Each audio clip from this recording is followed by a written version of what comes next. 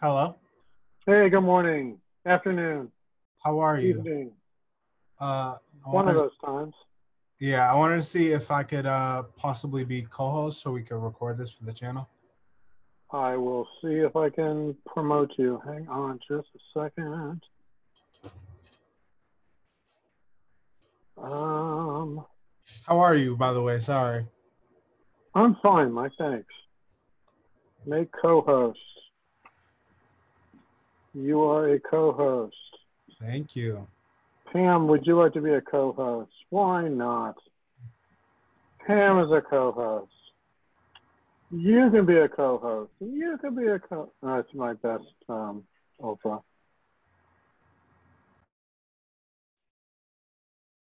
Uh, Pelaggi is promoted to co-host, or is is a panelist. Excuse me.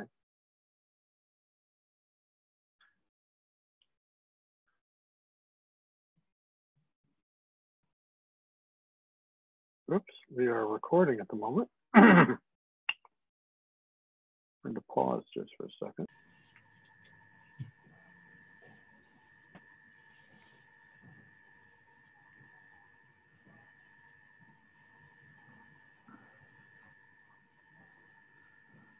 I almost feel like an NPR radio host.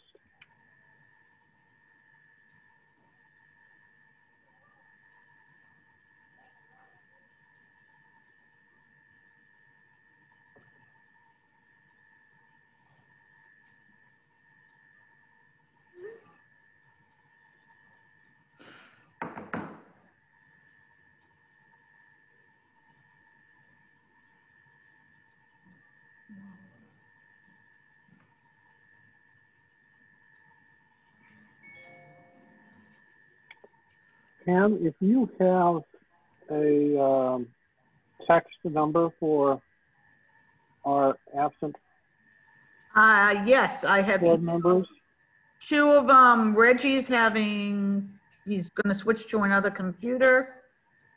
Craig has not answered me and. Let me email. checking my email, I do not see any other. No, because I heard from some of them today, so.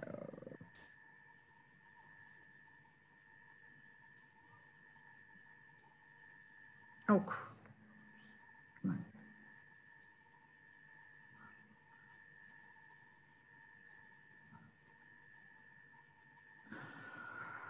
I see Mr. Pina.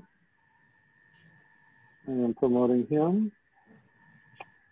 Mr. Chairman, I believe we now have quorum with three people. I believe we do. Um, shall Well, I we- can't pick up my email on my new phone. Uh, should we wait, uh, Mr. May, should we wait maybe one or two more minutes for, uh, generally uh, Larry is pretty dependable. If he's not able to attend, he usually, There's Reggie. Oh, here we go. And Larry may be, let's give Larry one or two more minutes. He's usually, uh, pretty dependable. If he doesn't show, he usually, uh, notifies ahead. Um, Larry, if you are using an alias, if you could raise your hand, I can unmute you or promote you to panelist. Sometimes we use our kids. There he is.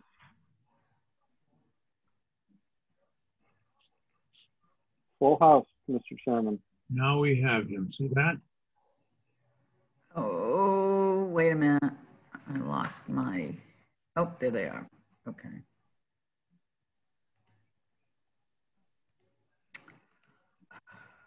Good evening. Good evening. Mr. Chairman, you may begin with your, Two. Opening statement? yes, sir. All right, well, good evening to everyone. Uh, This is a prepared opening statement that I'm about to read. I'm calling this October the 6th, 2020 meeting of the Brockton Planning Board to order. My name is Bob Pelaggi and I am the chair of the board. This meeting is being recorded.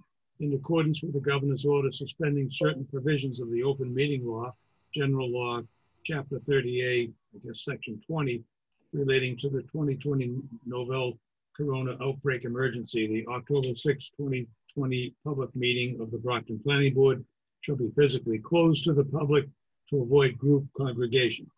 Real-time public participation and comment can be addressed to the board, to the planning board utilizing the Zoom virtual meeting software for remote access.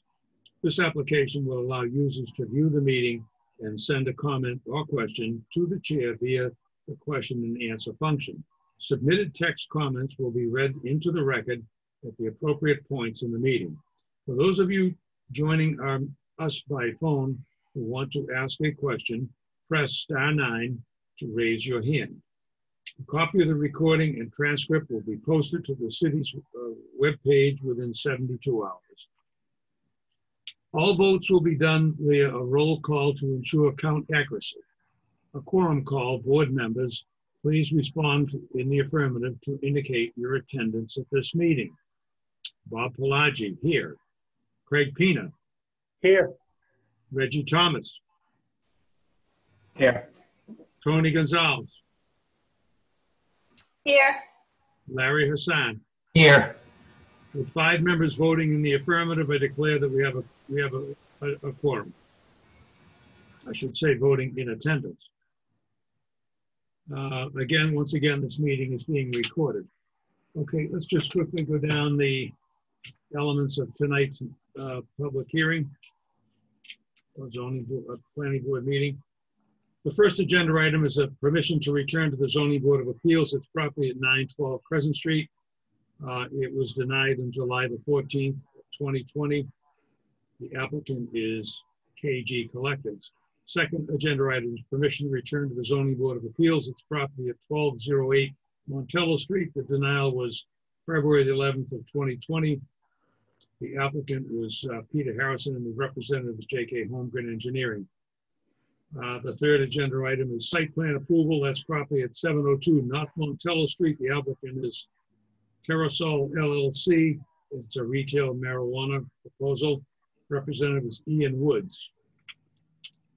Uh, The fourth agenda item is a preliminary subdivision. It's a six-lot residential subdivision at 134 Armiston Street. The owner representative is, see, the owner is Robert Kane and the representative is Attorney James Burke. I've been informed that that has been continued. Fifth agenda item is a preliminary subdivision. It's a two-lot residential subdivision.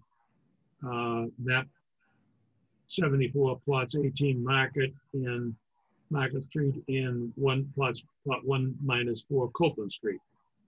It's one uh, Tro- I believe, is the applicant, and Land Surveys is the representative. And the sixth agenda item is a, an 18 lot residential definitive subdivision. Property is on map 37. It's plots 4, 6, and 18 Augusta Avenue and plot 36 Prospect Street. The owner is Frederick Kepche and the representative is Curly and Hanson Surveyors. Seventh agenda item is a definitive subdivision, a two-lot residential subdivision at 678 East Street. Uh, Let's see, owner is Benjamin Carroll. And the uh, engineer is Munden, the engineer is Munden Engineering. That has, that item has been continued to November the 4th, 2020. Last agenda item is a definitive subdivision. It's a four-lot residential subdivision, plot two, Belgravia Avenue. The owner representative is Silva Engineering. That also is, that has been continued to December the first, 2020 meeting. All right. Well, without further ado, uh, again, first agenda item. I, I'm sorry, one, one Sorry. point of order, Mr. Chairman. Um, Yes, I do want to point out that the 134 Armistead Street subdivision, preliminary subdivision, is continued to November 4th. You Oh, were given the thank dates on the other two continuances, but you didn't give the date on that one. So for all right, those of you who are playing at home, um, November 4th. thank Thank you. you, sir. Thank you, Mr. May. Continue to November the 4th. Anyone who is here to speak on uh, KG Collectives, return to ZBA, could you please raise your hand so that I can um, unmute you? Do you want to do the minutes at the end of the meeting? Well, we've got acceptance of minutes. We should probably, I think we should probably, uh, we should probably do that now. Let's do it now. Motion to accept the minutes as presented? Is second. there, first of all, is there, are there any comments or any, any comments or recommendations or changes? No, Okay, so we have a motion to accept. Is there a second? I'll second that.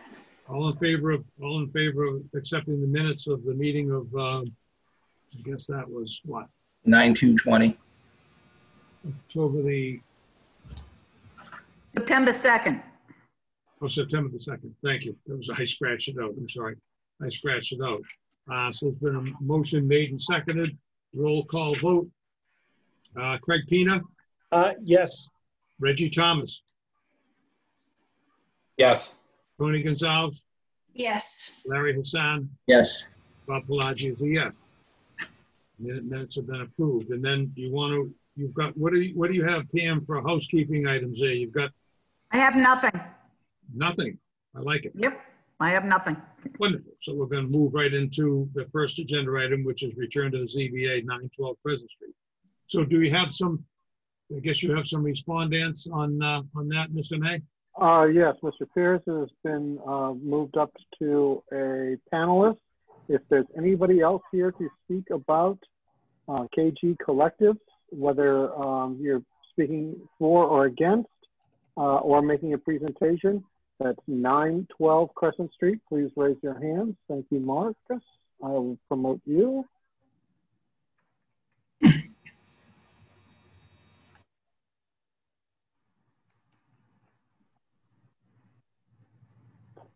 And Michael or uh, Marcus, I don't know who is leading your presentation, but um, one of you has the floor.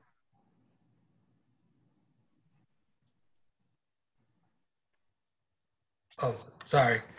Uh, I'll be leading the presentation. Um, I want to say uh, good evening to everyone. Uh, good evening to members of the board.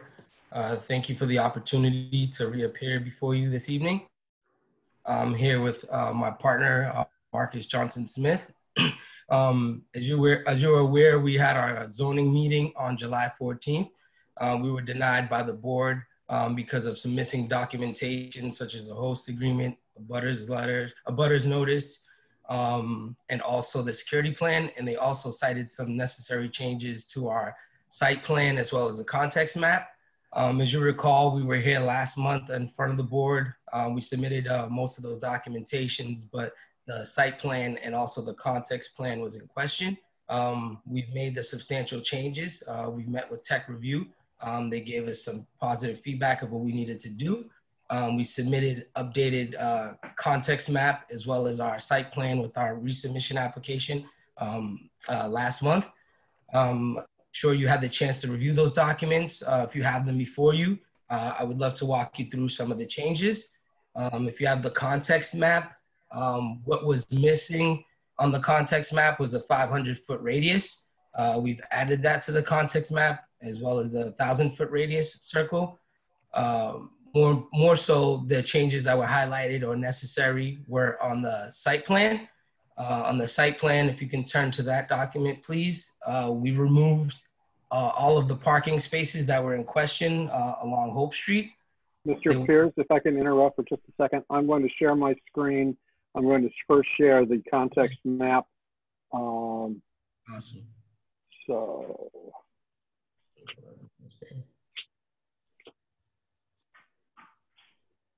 hopefully that is now sharing. So uh, you can see there, that's our site with the blue uh, shaded area. Uh, it's 912 Crescent Street. And what we were missing in our initial submission was the 500 foot uh, radius, and our surveyor uh, added that to our uh, context map in our, our new submission.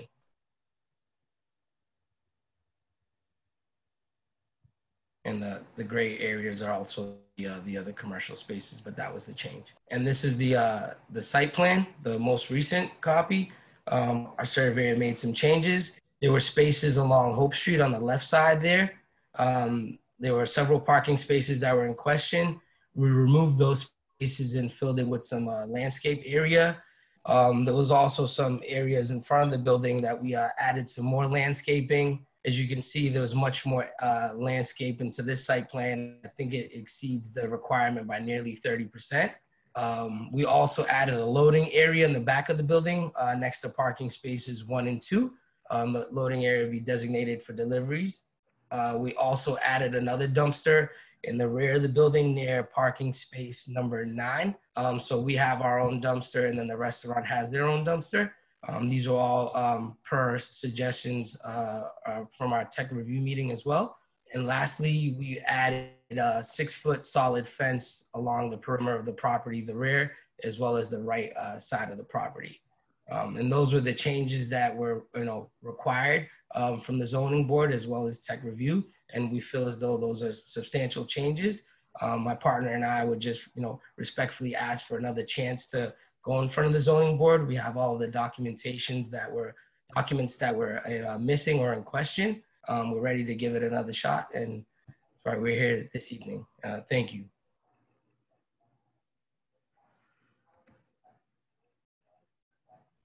If anyone has any questions, I'd be more than happy to answer them. A- Any comments on the part of the board? I don't have any particular comments. I think this has been in front of us a couple of times and it looks like they've done everything they've been asked to do. I, I mean, I wish them the best when they go back to ZBA. I don't really have any other, I don't have any questions. Well, I was the, I was the lone dissenter at the last meeting. Uh, and, and I, and I used as my guide the, um, the notes and the, the decision that was written by the zoning board of appeals. And it looks to me as though you've addressed those, sir. The only thing is, um, there was a, some, there was some, there was a vague reference in the, um, in, in, in the, in the zoning board's decision. It says various parking issues. I'm not going to belabor that. If you, if you feel comfortable that you've addressed those issues, then so be it. But it looks to me as though you've made some substantial changes. You've, you've, you've, um, you know, you've improved the context map and you've revised your site plan. So I don't have any further issues with it. Yeah, personally, I didn't, I don't see any issues. I didn't see any issues with the, uh, the previous proposal from last month, and I don't, um, I don't see any issues with it now. Okay, is there, is there, if that's, uh, completes the discussion on the part of the board, is there, is there a motion? Motion approved. I'll second that motion. Okay, there's been a motion made and seconded to approve the, uh, You're, you're, s- you're motioning to- to allow them to return to the, Yes, motion, motion to return to ZBA.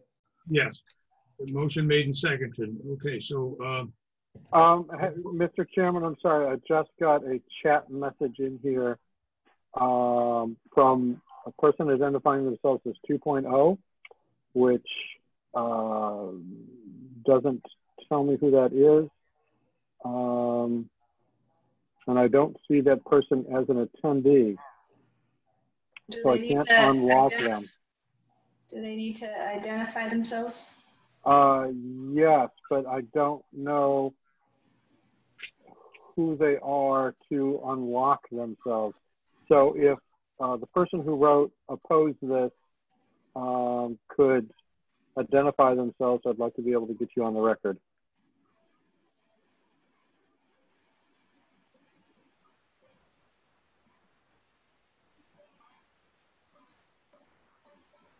is it, is it a technical issue, Mr. May? Um, I think they're logged in. they're logged in, but their screen name says it's uh, 2.0. And so I don't, ah, there's a 2.0. Let me unmute you. If you would like to testify, um, I- me- They need to identify themselves. yes. So 2.0, um, if you want to turn on your camera or um, unlock your microphone, you may do so now and provide your name and address, please.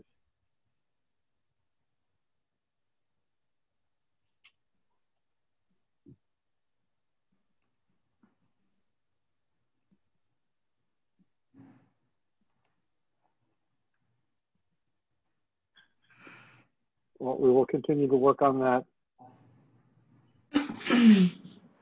Um, Oh, it says Jason Reed Hall is the name.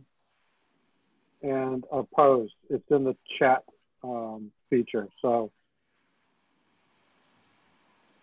Oh, Jason Reed, Hall Street. Hall Street is opposed. Is that, is that his only correspondence, Mr. May? Uh, at the moment, yes. He's driving. Oh, shame on you. Oh, yes, please be careful, Mr. Reed. And so, so that you understand, we're just approving for this applicant to reper- return to the zoning board. That's correct. So he'll have another opportunity at the zoning board. I mean, we're more than willing to hear his comments, but um, he is techni- technologically unable to to make those. ZB said no because parking, security, and. Okay, so apparently he didn't hear, he didn't hear the, he didn't hear the, the, the applicant's uh, comments or our follow-up comments, because those things have been addressed.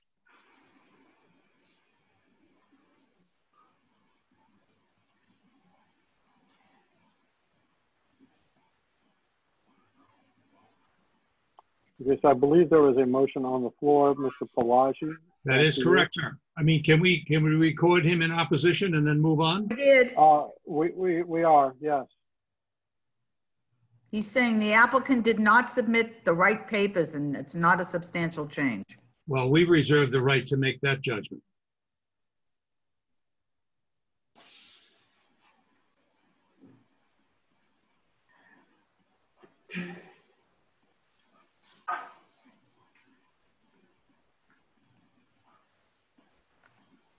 Mr. Chair, I just make a comment because I just read his chat too. Um, I'm not sure what plan Mr. Reed is looking at because the updated plan makes sense now. Yeah, there was, a- some, there was, A prior plan, because I know there was some parking that I had made comments on a while back that was on the side, which was on Hope Street, which is now been redesigned on the plan, so. yes, yeah, he had, he had some, there's some missing information on the contact plan. They had made, he made some substantial changes and improvements on the site plan. So I don't know if this person has had a chance to see the new updated plan, but we have it. Thank Mr. May, in your opinion, Return to can we- ZBA, still on the floor. Mr. May, in your opinion, can we move forward? Uh, yes, we have his, um, we have Mr. Reed's comments. Very good. So noted. Okay. We have, we have a motion and a second to approve the return to the zoning board of appeals as requested. On the roll call vote, Craig Pina, Yes, Reggie Thomas, Yes. Toni Goncalves, Yes, Larry Hassan, Yes. Bob Pelaggi is a yes.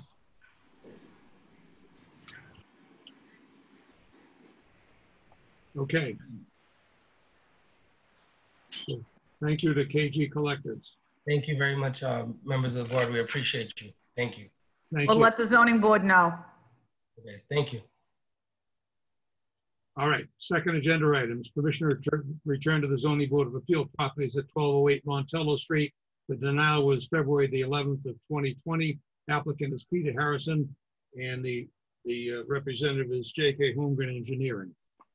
Would those people who are here for this, I see you, Scott, um, offering testimony for a return to ZBA at 1208 Montello Street, um, please raise your hand so I can promote you into the panelists section.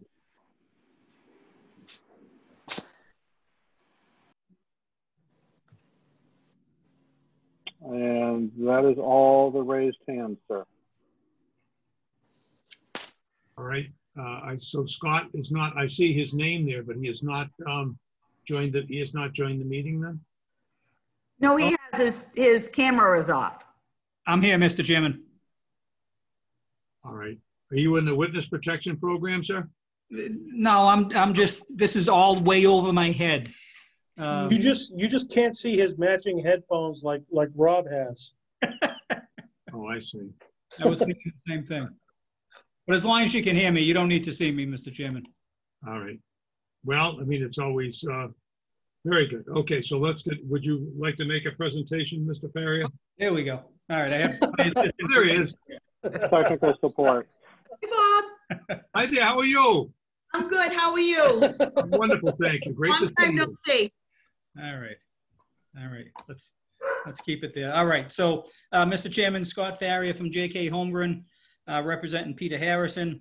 As you said, we were before the Board of Appeals back in February for a proposal at 1208 Montello Street, uh, right at the corner of Montello and Riverside.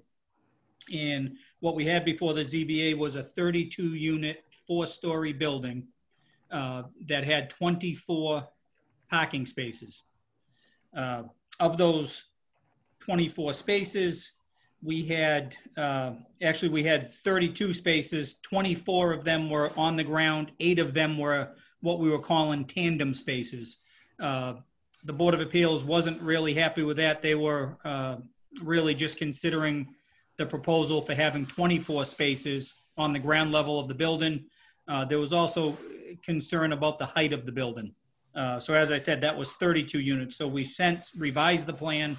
The proposal you have before you tonight has three stories, 24 units in the 24 spaces, so one space per unit. So we feel like we've uh, addressed a couple of those concerns, one being the height of the building, two being the parking issue that the ZBA specifically mentioned in their decision. Uh, The one other notable change that this plan has is because of the uh, elimination of those eight tandem spaces that we had, uh, we now have more green space on the south side uh, of the building. Uh, It's still tight to Riverside, but uh, the side opposite Riverside, right there exactly, uh, we have a much larger landscaped area, which provides us a opportunity to give a little more buffering to the neighbors. So hopefully we've done the best we could on this. I think we've addressed the ZBA's concerns, and we're just hoping you'll give us a chance to get back before them in the near future, Mr. Chairman. Thank you, thank you, Scott. I, I had one quick question. So in reducing the number of units, I guess it is what, from 32 to 24? Yeah, we literally lopped off one story. They were eight units per story. So we got rid of the, uh, the fourth story. Now it's a three-story building. Okay, well, that's, that's certainly a significant change, but does that change allow you to be parking compliant now, or are you still looking for re- relief from parking? Now we're at one-to-one, Mr. Chairman. So you're one-to-one? Yeah. Yeah, Before I- we were at 0.75 to one, I guess. Is And this, is this a 40R project? no, it is not. Okay, so what, what guides us, Mr. May? I'm just wondering, what guides, what guides the parking ratio? Is it, the- is it the Brockton ordinance?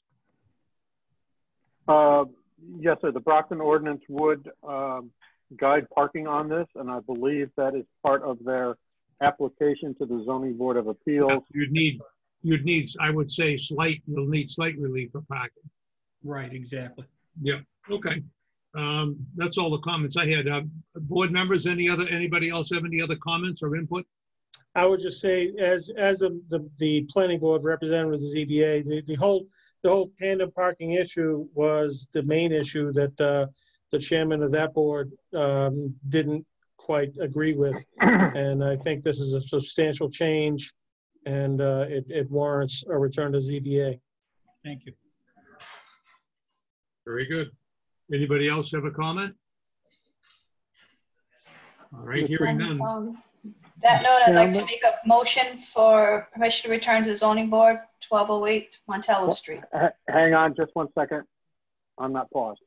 Um, I wanted to make sure um, we had uh, the ward counselor had a chance to speak if she would like to, and also the state rep, uh, Mr. Bois, is in the room, and um, if we want, uh, if she had any um, comments, Um, I think I I'll go, just moved her up.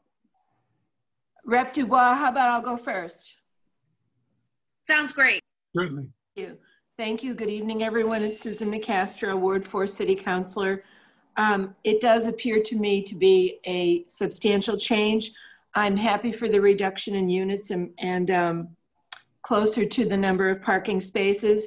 And I just want to gently remind you that pursuant to MGL 40A, Section 16, Planning Board has to make specific findings on a return to zoning matter. And it's actually listed on one of the pages of your application. So um, I would just hate for this to be found to be defective because you didn't make those findings. Thank you very much. All right, is there anyone else who would like to speak either in favor or in opposition?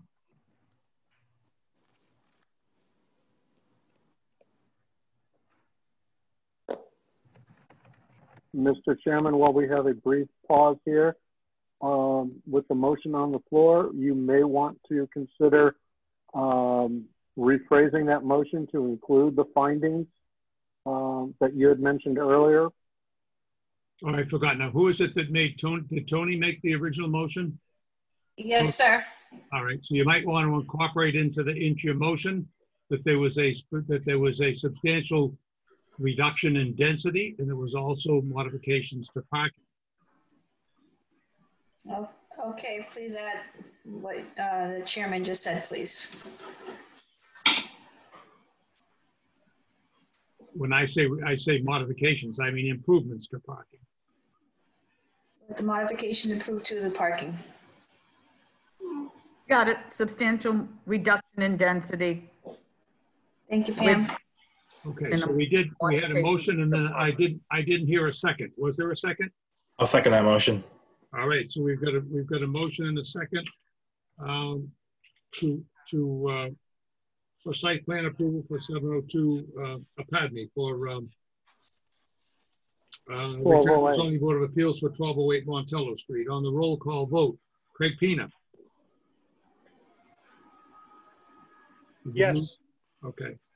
Reggie Thomas, Yes. Toni Goncalves, Yes, Larry Hassan, Yes. Bob Pelaggi is a yes.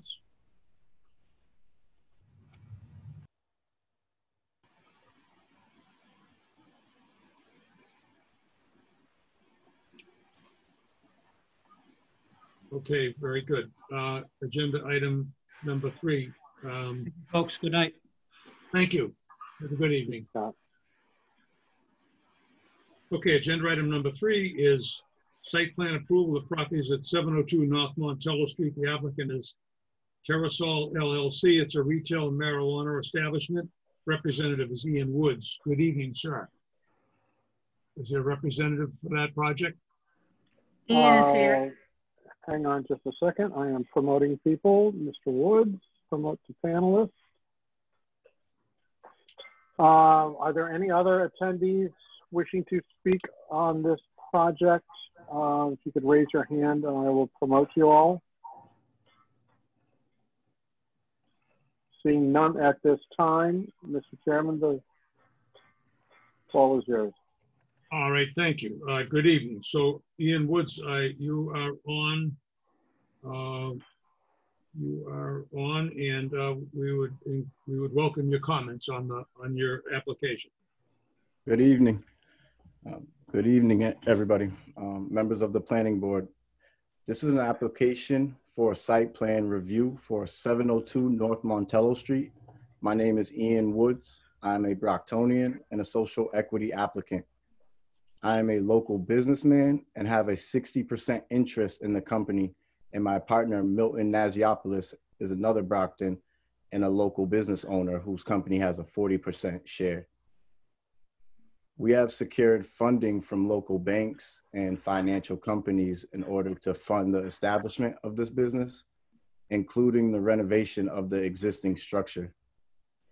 We will be enhancing the green space with a few low height plantings per CCC regulation. Um, As you can see by the context map and engineer's letters, there are no schools are retail establishments within 500 feet of the property. This proposal is to convert the existing three business retail location into a single retail marijuana store. Our target audience will be the commuters and residents that live within 500 yards of the store. We anticipate that a majority of the clients will use our state-of-the-art app to order the product and then come to the location just to pick it up. As you can see on the plans as well, uh, there are no changes to the existing site plan conditions.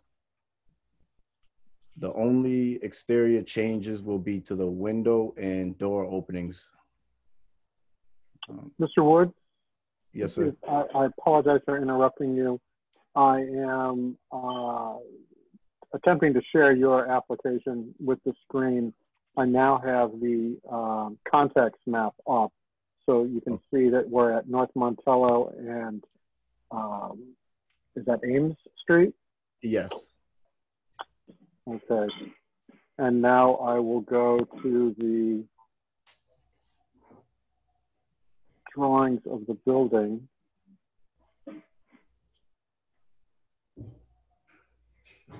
Reduce that just a touch.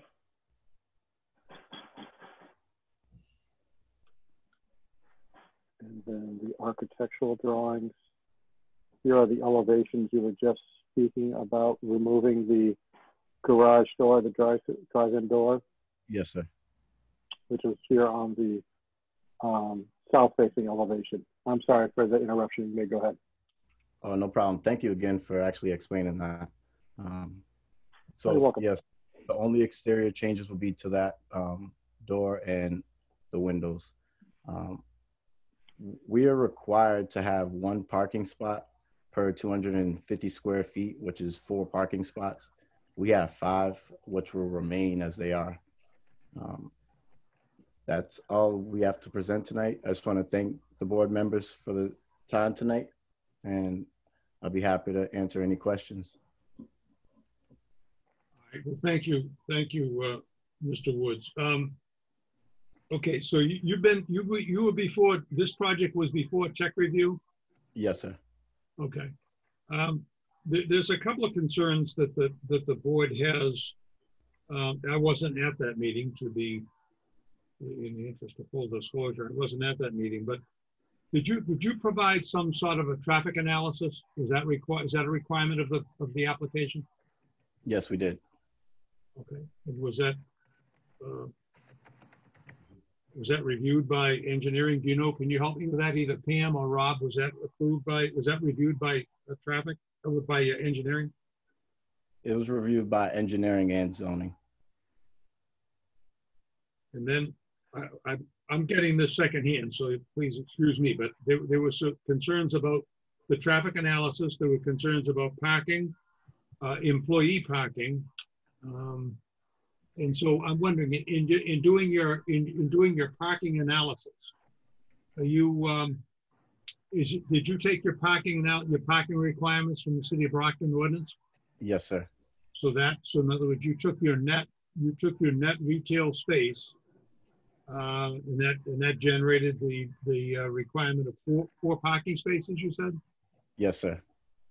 How many employees would you have at any given time? Or, or rather, what's the, what's the maximum number of employees that you'll have at any one time? Uh, three to five, and they'll be parking off-site. So you've got, you've, so you've got some dedicated parking? on- Yes, uh, lease location. Did you, did you provide evidence of that, sir? Yes, Yes. Okay, so you provided evidence of your lease parking at the, at the site plan approval meeting? Correct. Okay, And zoning as well. all right, I wasn't Can I, aware. can I mention that all these questions, the parking questions have been asked and answered at, in zoning? Okay, I was not aware of that, uh, Mr. Pina. I wasn't at that meeting. And then I'm, I've been informed that you still have some, some um, unaddressed uh, property taxes on the site? No, they were paid. Oh, they were. Yes, Um, sir. Can you get us a receipt showing that the 2019 taxes?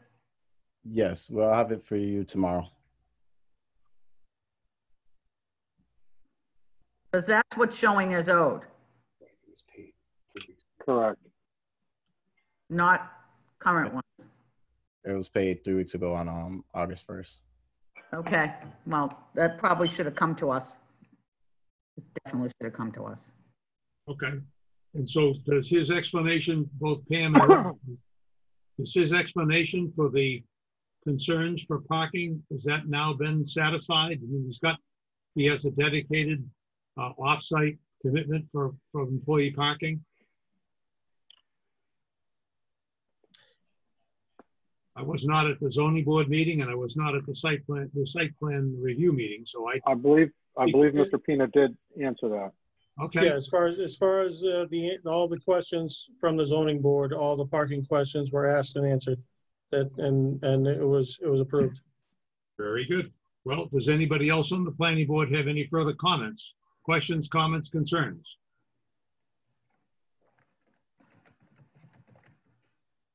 Is there anybody from the public, this is being a public hearing, is there anybody from the public that, what- that would like to speak either in favor or in opposition to this site plan, site plan application? And again, if anybody, Yes, Um, hello, um, Rob May. This is, uh, State Representative Michelle DuBois. I just wanted, uh, Six Bank Street, Brockton, Mass. I just wanted to be registered in support of Mr. Wood's application, um, here tonight. And I thank you very much for the opportunity to, um, weigh in with my support. Thank you. thank you. Thank you. are there any other attendees on board who would like to, um, please raise your hand so I can promote you to a uh, active role. I have a chat just opened up. Hello? from Spink Engineering to all panelists. This would be a good, uh, this would be good for our neighborhood, neighbors and our neighborhood. Oh, hello. Uh, Spink sorry. Engineering, if you could tell me what your actual name is, we would, and address, we would appreciate that. They are the engineers for this project. They're the engineers, Rob. Ah, well, that's So I'd be surprised if they were. a in little, a little biased testimony. Yeah, they might, But it could be opposed, but I doubt it. Can you unshare your screen? Thank you. Okay. Any other comments that you see, Mr. May? Hello? Yes, Sorry, um, can you guys hear me or see me? yes, we can hear, hear you and see you. Oh, sorry. I'm so sorry to interrupt. I don't know if I'm in the, uh, um, in the right spot or not. I live off, uh, um, or off Earl Street. Is this the, the meeting to discuss the new development that was supposed to happen there? No, I think, No, no, not yet. not, no. Oh, so we haven't discussed it yet. Uh, which project on Pearl are you, are you talking about? Earl, Oh, Earl. you, you want the headsheet project. Oh, the head sheet. Okay, no, that's, uh, further on down. That's i- agenda item number six. Oh, because you haven't discussed it yet. Okay, sorry. Oh. Thank you. I just got here, Okay. so I wanted to, Thank you. let me, all right. Okay, so do you, do you have anybody else that, that wants to be recognized, Mr. May?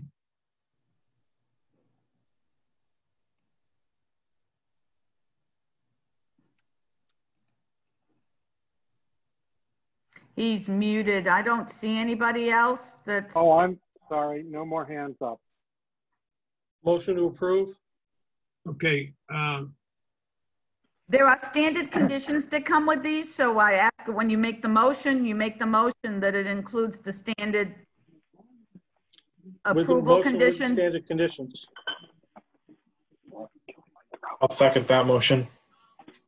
okay, a motion has been made with second conditions, with, with, uh, with conditions and, and a second has been made. Um, now for the roll call vote. Uh, Craig Pina, Yes. Reggie Thomas, Yes. Toni Goncalves, Yes. Larry Hassan, Yes. Bob Pelaggi is a yes.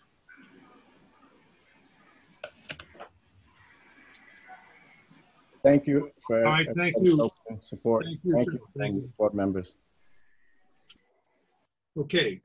Uh, Again, for the record, uh, agenda item number four is a preliminary subdivision, 134 Amos, Amiston Street, six lot residential subdivision. That's Robert Kane and and Attorney James Burke. That has been continued to November the 4th.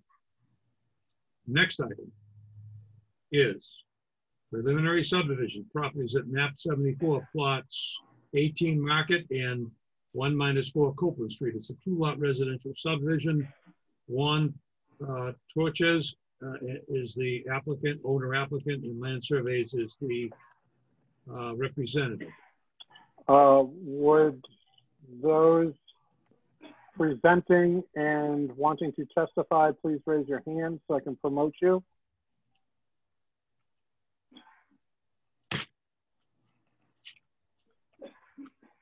Mr. Malcolm and who else did I just promote?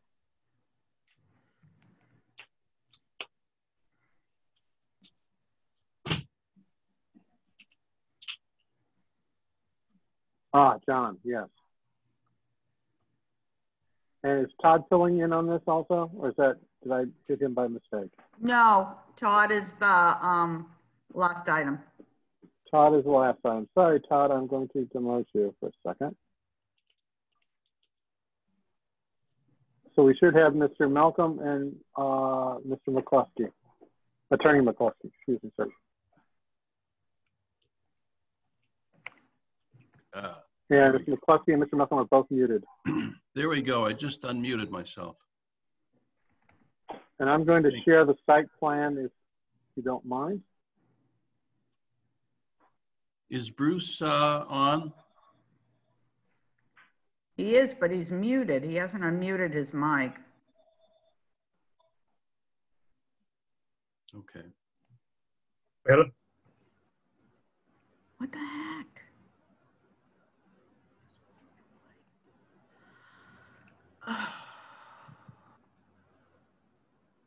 Rob, can you unshare that for a minute? Yes, ma'am. Because when you did that, it wiped out what I was doing. I apologize. I know. Okay.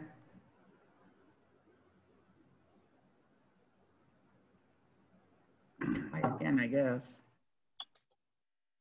Uh, Mr. Malcolm or Attorney McCluskey, who's leading this presentation? So uh, sounds like Bruce isn't on yet. Um, let me just give him a quick call and tell him to unmute.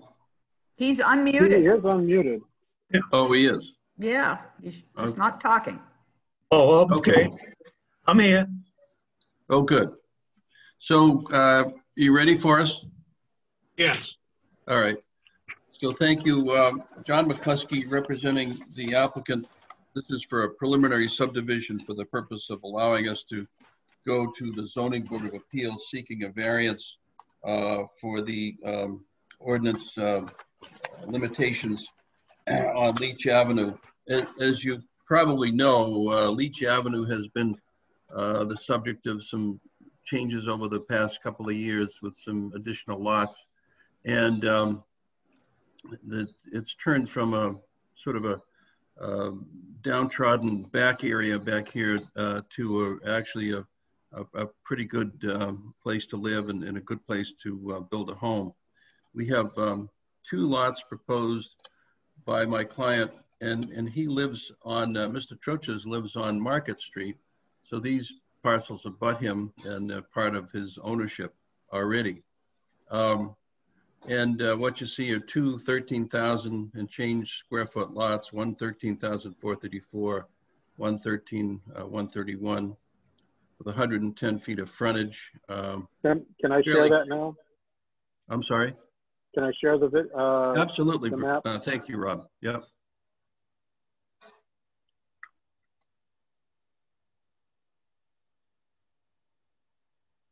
Okay, we should be up. Yep.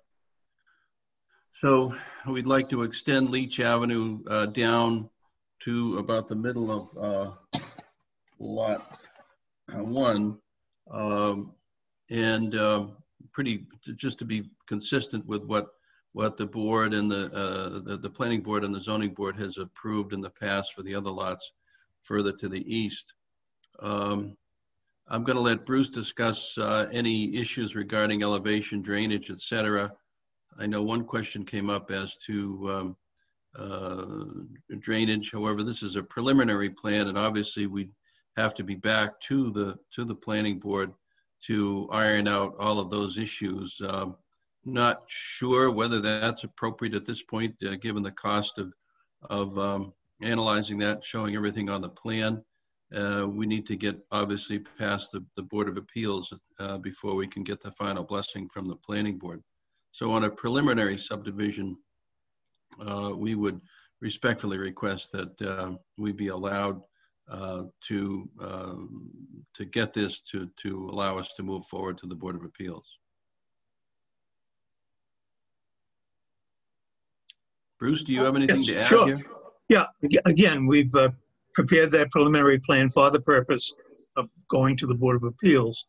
What we've done is the road that's been constructed so far up to our, up to our point has been with 24 feet foot of bituminous paving, granite curbing, and a concrete sidewalk on one side.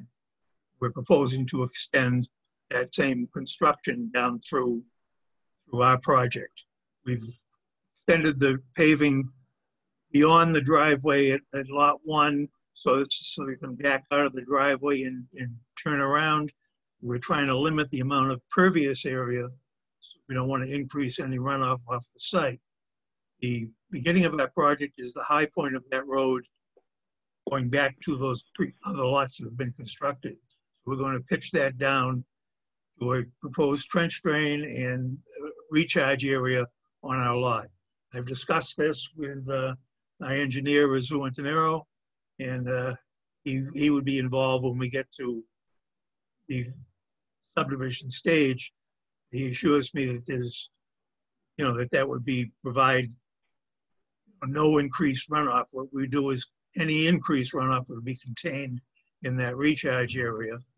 Um, I know it was mentioned that there is some kind of a, a flooding problem or flow problem.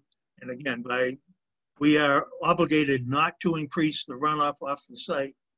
But if there's a problem, and I'm not really aware of it, but we're not required to solve it, although we attempt to do so, the only obligations we have is not to add to that, to that runoff off the site.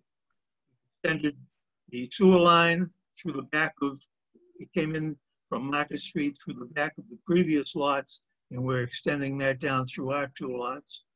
The water main was brought in to, uh, for the other lots, and we're extending that down and putting a hydrant at the end of the lot, end of the road for flushing purposes.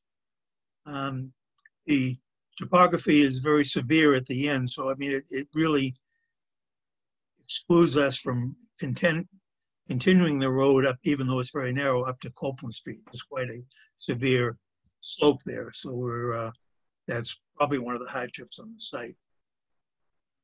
I think that's, that's about it, and again, we are- I have discussed the site with the Zoo, and uh, we will be involved in the engineering should we be allowed to go forward. Okay. Um, Very good. Uh, Okay, so just uh, for the board members, just by way of background, um, this was the, originally, this was the location of the three lot, the three lot subdivision that was originally on Leach Avenue that I think Mr., was that Manny Bojenga? Was that, was that? Correct. Is that accurate? And I know that the, the board at the time had two major concerns. One was uh, the, the adequacy of the sewer easement that went from the back, servicing the back of these three, the three, the three, the then three lots out to Market Street. That was satisfied. And then the other concern was that the, they needed to demonstrate that the, that they had the ability to turn um, uh, emergency response equipment, you know, through the openings in the, in, in their, in their proposed paving to go into the um, parking lot of, of uh, South Junior High School. Uh, Just for a point of information, the, the parking lot ends about in alignment of that, uh, what would be the last lot line of Manny's house development there. And then following that, I think I was on that zoning case, I can't remember. Uh, I think it was, who was the one that developed the single lot there? I think that was, um, I guess it. Steve Torrey. Steve Torrey, thank you very much. Steve Torrey came before the, uh, the zoning board and he sought relief to, uh, to site a house on plot thirty minus two. And, uh, again, those same, that, that same concern came up. One of, uh, emergency equipment, and then there was some discussion on that, and there was, I guess it was decided that the emergency equipment, because it was such a short addition to the road, um, that they could just simply back their way into that opening um, that would get you back onto the on- onto the uh, paved area of South Junior High. Um, and now we have before us an extension yet again of us. I don't know what the exact length of the proposed paving is, but uh, so we keep going further and further in. Now to the to the it's all woods to the on the opposite side of Leach Avenue there. That undeveloped road called Leach Avenue. That's all woods there. So if emergency equipment does go up there, there's no way now that without backing all the way down into in making a backward backing, I guess backing into the parking lot of South Junior High that you can get emergency equipment in there. So typically, uh, Chief Williams, so typically what goes, if you have a medical emergency or a fire emergency, I, I guess you would think I would retain this by now, but what do you, what do you send at a minimum to, to a residence of this nature? What do you send for equipment? Did we, did we lose it? Did we lose Chief Williams? He's on mute. I didn't realize on- I was on mute. Um, A fire engine, uh, which would be either an engine or a ladder, um, and an ambulance would be the minimal for a medical call. Um, A small outside fire or something would just be a fire, um, an engine, a pumper truck. Uh, It it does, I guess the zoning board has approved this already? No, they, no, no, no, this is. They have it, okay. No, All they have not. I'm getting my cases confused today then. So it does make um, a bit of a, a problem for us, although we do have other dead ends in the city. Um, This is different because we don't allow them any longer. We allowed it with, um, when Steve did theirs, they made a cut through to, to uh, South Junior High. And um, this goes up further into what would be the grass area of South Junior High so that we wouldn't have that cut through any longer. Uh, The zoning board has approved it up to the, the, the lot right next door. Yes, they did, but that was, but, but opposite that is all, all it's either grass or wooded, uh, Attorney McCluskey. That's all either grass or wooded. The, the actual paved area stops at the, uh, at the, at that last, at the most westerly line of, of Mr. Bojanga's last lot. So if you were to drop an imaginary line down between, uh, at, at Manny Bojanga's lot, his most westerly lot, that's where the paving ends. So they, they would have to back up a, a uh, considerable distance to get, and then do, and then do a three-point turn to get out of there. So it is a concern. It certainly is a concern about getting in and getting uh, emergency equipment in and out of the site. So right, right up to the driveway of the uh, third lot up that was developed, there was an entrance made into South Junior High so that we could pull in there and turn right around. That's correct. Just a short area there. This would go up into a large area and um, it actually looks like, was that a private roadway or is that a public roadway that goes all the way out to Copeland Street? Oh, It's private. Private? Okay. believe that's private. Okay. Engineering has said it's, it's private, that the roadway layout doesn't exist after that point. Okay. So it's, it's not a private right-of-way, it is real property. It's their property, yeah. Whose problem? If I could share another screen, hang on just a second, please.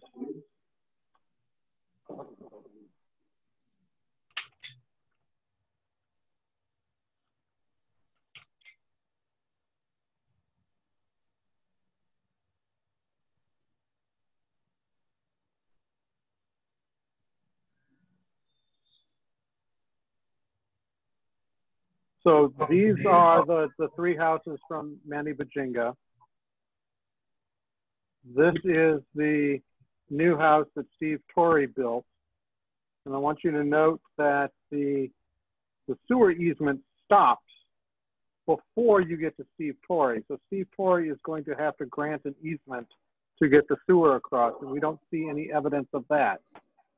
Um, you'll notice that these lines are dashed or have openings in them, and that implies, according to Howard Newton, and I concur, that these properties or what is being shown as Leach Ave, actually, because it's been, a, looks like it's been abandoned, is actually owned by this property owner. So it does not appear that this is actual right-of-way after this point.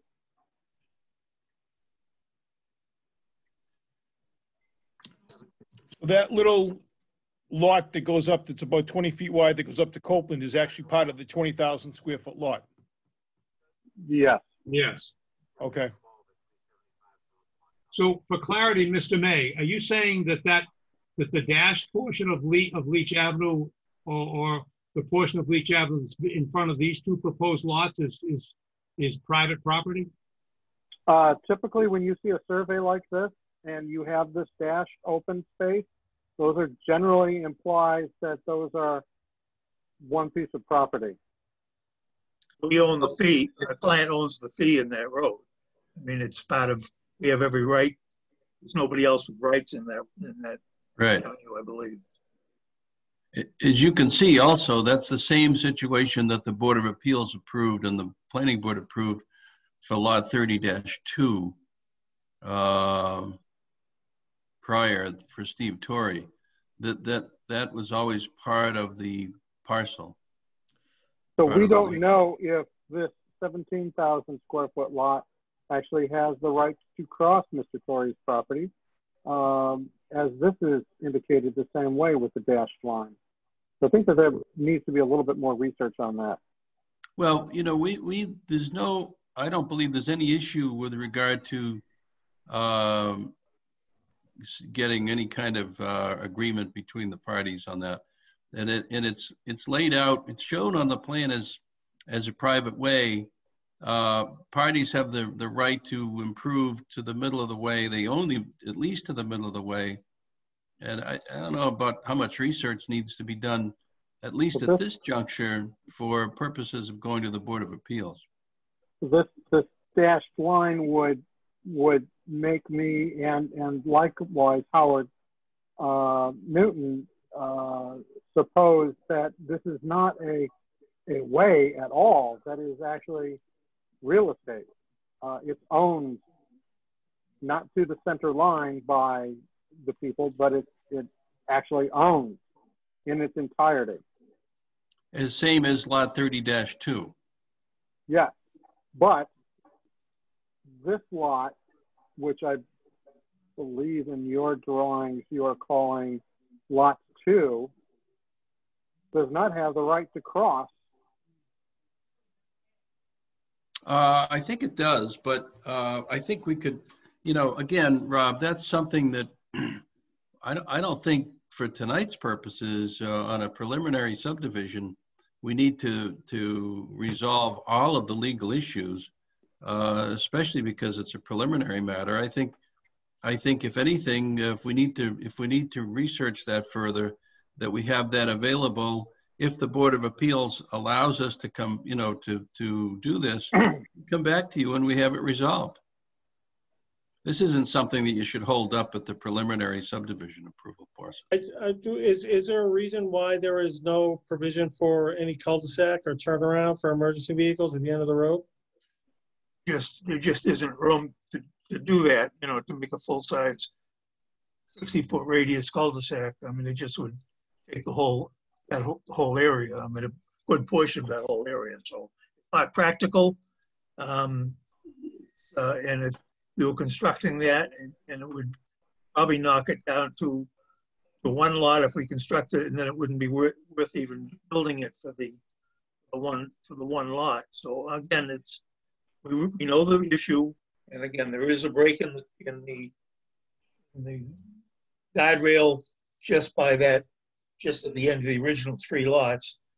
And again, I, I know that with the if, if there was an emergency there, if the equipment had to, had to get out of there with, there would be at least an attendant, they could back up. I mean, not saying what what you'd agree to or what the board would agree to.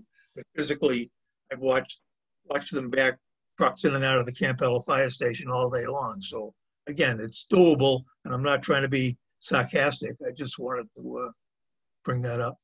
I understand that. I just, I just don't think that since we're not allowing dead ends like that anymore, why, why do we need to approve this? I, I have a similar concern. I mean, I really do. Um, I know that, I know that that, even as short as the extension was, to, to allow the plot 30 minus 2 to be developed, I know that that was, I believe that was, I know I was at that zoning board meeting. There was some concern, there was some discussion about allowing that pavement to go, like, I- there's not a dimension on that lot. It doesn't look like it's too wide, but there was some concern about that, letting that go. And after some discussion, I guess it was, it was agreed that a piece of emergency equipment could back up that very short way and do what uh, Mr. Malcolm had just suggested, and that is to do a three-point turn back into the into the, the existing paving of South Junior High and then move out of there. But now you're adding, I mean, it's just, it's just, it's not, it's it's far, it's far from an ideal situation in my opinion. I mean, unless unless you see alternatively, if you were to split the houses, I mean, possibly because of the uh, generous amount of room that you've got between the existing house that uh, Mr. Torrey built, if you were to squeeze the to the right-hand house to the right and the left-hand house to the left, could you get some sort of a cul-de-sac in, a cul-de-sac in between the two houses? Something, something so that a vehicle can turn, can make a swing around there. I mean, you, can you move the, I'm just, it's not up to me to design your plan, but can you move, can you separate the houses and then try to get some semblance of a, of a cul- a- cul-de-sac, half cul-de-sac in there with some, some sort of a, of a turning? I don't know. M- Mr. Chair, you do have, although your rules and regs say no hammerhead turnarounds. And Yeah, this case, that might be something they ask, something what? But to engineering wants that turnaround? I'm sorry, say it again, Pam, I'm sorry. And engineering would like to see that, a turnaround Of some nature, of some kind. of kind. some nature, yes. Yeah. So not backing up. Well, if you, if you put a hammerhead, if you put a hammerhead, no matter how wide, you'd have to make a three-point turn, Mr. Mayor. Um, have to Pam? make a three-point turn to, to, however else you do it. If you back in and then nose out, or if you nose in and back out, you'd have to make a, a three-point turn to change, to change the direction 180 degrees. Um, Pam, did engineering also have a comment that there is no proposed drain or proposed sanitary sewer in the street? Um, or, or did they have issues, I'm sorry, with the sanitary sewer crossing the, the lot that didn't have the easement yet? Correct, that it shows that the easement exists and they do not have any easement documents that show that the ea, that that easement goes beyond where we first saw it in, in um, Manny Bajinga's subdivision. There is, a- there is, a- there is an agreement with Steve Torrey to grant easements and to extend the sewer down. Again, I'm just, Does he still own that house? yeah, he he still owns it right now. And he, and I think had me prepare a plan, an easement plan. What he's done with it, I don't know, but it's extending that sewer easement down to the lot line of, of, of our property. The, uh, again, the straight drainage, we we're proposing to put a drain at the end of the road and, and, and recharge it. Sewer is definitely going to be extended, and I show, I show extending the sewer, and I, we have rights. Steve Torrey has verbally granted us rights, and whether he's done it on paper yet, I don't know, but he has, has agreed to extend that. Obviously, I Obviously, would assume that Steve would agree to do that. I think Steve would agree to do that. I, um, Attorney McCluskey, I, I, I know, I can, I appreciate you don't want to get too much into the weeds as far as the technical issues, as far as the legal issues at the preliminary stage, but maybe if you would humor me on one, one question, and that is simply that I know that there was an easement, that there was a 15-foot wide sewer easement that was established to service those three houses, the the Manny Bojanga's three houses. So in establishing that easement for their benefit, does that mean that anybody can just tag on to that easement? Does any, does that mean that everybody and anybody has rights to use that, that, that easement for sewer purposes? Or isn't it just limited to those three houses? Well, it- I, I think if the, I'd have to look at that plan again. I, and I apologize, I don't recall that plan. But I think if it went to the edge of the lot, well, first of all, I think they could extend that easement. You can move easements, you have the right to do certain things with easements. Um, And I'm, I'm forgetting what that, what that easement looks like. Yeah, That, that was- went out, that went out to Market Street, I believe. Yes, it did, and if you recall, that was the issue we had with the rights of getting it out to Market Street. Yeah. Which you did. I I certainly, I certainly think that Steve Torrey could allow us to, to uh, en- engage into that easement um, without any issues as a, as a lot owner. But, the- but the, I guess, but my question is, and again, I, I don't want to get too much into the weeds with easements, but i- isn't that, isn't the easement, wasn't the original easement that was, that was No. established for the, for the cross benefit of the three homeowners? I mean, that's. easements are a- Well, that was all that was out there at the time, Yeah, yeah. easements are for a specific purpose and, and to They benefit someone in, it specifically. Yeah, but it doesn't mean you, you are limited to that uh, if the homeowners or a homeowner agrees to allow you to access his easement rights. Do- Would you need to get sign offs from, from Manny Bojanga's uh, successors there? Uh, Does, the- Bruce, does Steve still own one of these lots? Just, just the 30 dash, 30 dash, the last one we just had approved. I, I think we can do it through that lot. But I mean, does, does this, does, would you also have Well, uh, releases from the three lots that Mr. Bojanga built and sold? Well, I, I don't necessarily think so, because if you're, you know, you're not overburdening it, so to speak. It's not something that people are gonna um, be looking at and saying, oh, this easement's changed dramatically. It really, it's a, it's a a de minimis um, addition onto the usage of the, of the um, infrastructure. Okay. All right, thank you. Well, I mean, we could, um, Mr. Chair, yes, your I'd like to see choices, that language. your choices here are only three things. You can approve it as it is now and allow them to move on. You can deny it, or you can approve it with certain conditions made. That's it. are you, are you, are you certain that we can't continue a preliminary? a You prelim- can continue it, certainly. You could continue it to another meeting. But your choices are, if you pass it the way it is now, then those changes don't get made. So you would need to, if you want certain things changed, you would need to put them into your decision now. Okay, well, I was thinking more in terms of, I don't know, certainly the other board members, please, uh, uh, you know, render your, render your opinion. I was thinking of giving the applicant the opportunity through, through a continuance to give the the applicant an opportunity to address those issues and maybe revise the plan to something, uh, to revise the plan to, um, reflect the concerns that the board has, has here tonight and has expressed here tonight as far as, um, investigating that sewer, but certainly as far as coming up with some sort of a turnaround. Because that's. I don't, I don't see a reason the to number continue. concern.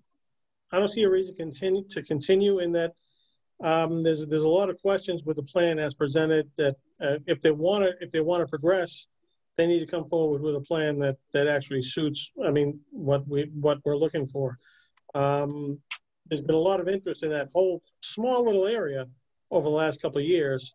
And I can't, I can't support it, a- any continuing this plan, uh, the way, the way it's presented.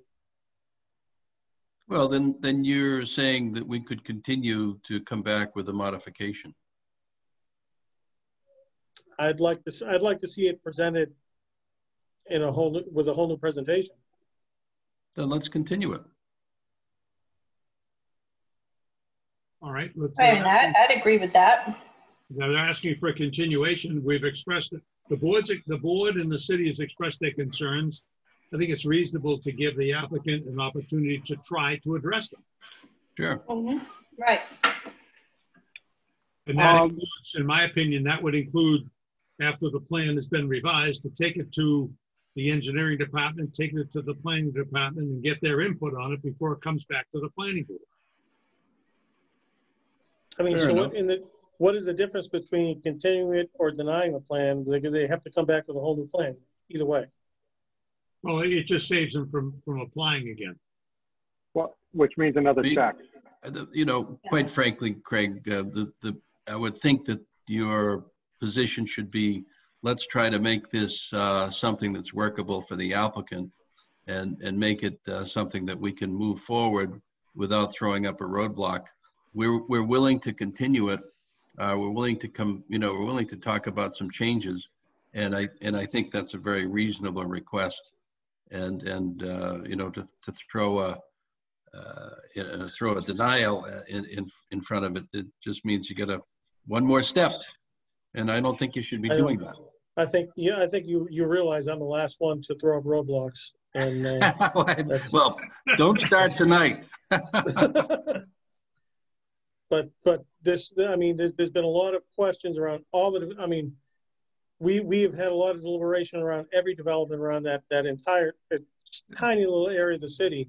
And, um, to have a plan come back with, that needs total revision, um, is it such a big thing to ask to come back with a new plan? Um, uh, whether we Well, continue uh, it or deny it? you know, and, and that's just it. Come back, we, we can come back with a modification. It, you know, everything that, everything that you'd ask an applicant to do, the more, the more time that people have to throw at it, the more expensive it gets for him. And this is something he's just looking at, hey, is this something I, that maybe I can get to the Board of Appeals? So let's, let's not make it harder on him. Let's, let's, you know, let him move on. That, well, that's, that's, I'm not, I'm not trying to make it harder on anybody, but there are just so many questions with the, with the plan. And Well, we're going to answer them, hopefully. Craig, we, we, we've raised those and I think we, I think we, I think we, we raised those concerns and we, we, with our, with an explanation, to boot so that give the, my feeling is give the applicant an, at least an opportunity and then fair enough. If he comes back and it's, and it's not to your liking, then, uh, you'll have to, you'll have to, uh, Yep. vote accordingly. We're not doing any harm by continuing This it. is, this is what the preliminary plan process is. I think my colleague, uh, Toni Goncalves said she can, she can agree with that. If she's willing to make a motion to continue, I'll, I'll second it. Is there a Thank motion to continue? I'll make, I'll make a motion to continue to address the issues with the Second. sewer easement. Is there a Are second? you Second. continuing to the next meeting? Is that enough time, um, Mr. McCluskey? Would- I'm sorry. Are you Uh, continuing a to the a cou- next a couple- meeting? A couple months, I think. Two Uh, months? Bruce is in, meetings. Bruce is in Florida, so I think, Bruce, what do you think, two months? Yes, I mean, we, we just got to address the issues. I mean, the physical changing of the plan is, we can, be- we can do it and I can be back in a day to, to to do it. To decide how we're going to, the sewer easement, I can see that's easily addressed, but the turnaround is something we have to, we have to work on. Oh, again, I think two months would be a reasonable extension. Okay, to, uh, to continue for two months, Pam, thank you. Second, Who, who seconded? me. All right, Craig seconded. So there's been a motion made and seconded to continue the plan to, to the December meeting. The applicant has heard uh, the concerns of the planning board and the planning department, so uh, they- I'm sure they'll, they'll revise the plan accordingly. Okay, a vote- roll call vote. Uh, Craig Pina, Yes. Reggie Thomas, Yes. Toni Goncalves, Yes. Larry Hassan, Yes. Bob Pelaggi is a yes. Thank you, members of the board, and Craig, thank you. Thank Yes, you. thank you. Thank you. Have a good evening. Okay. Uh, the next agenda item is item number six. It's a definitive subdivision. The property is at map thirty-seven, plots four, six, and eighteen Augusta Avenue, and plots in plot 36 Prospect Street. It's an 18 lot residential subdivision.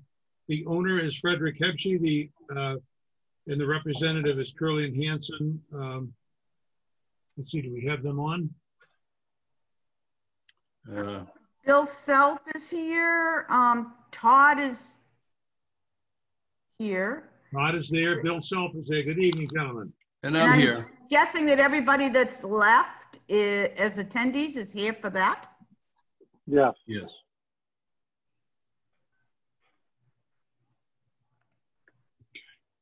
Shall I start?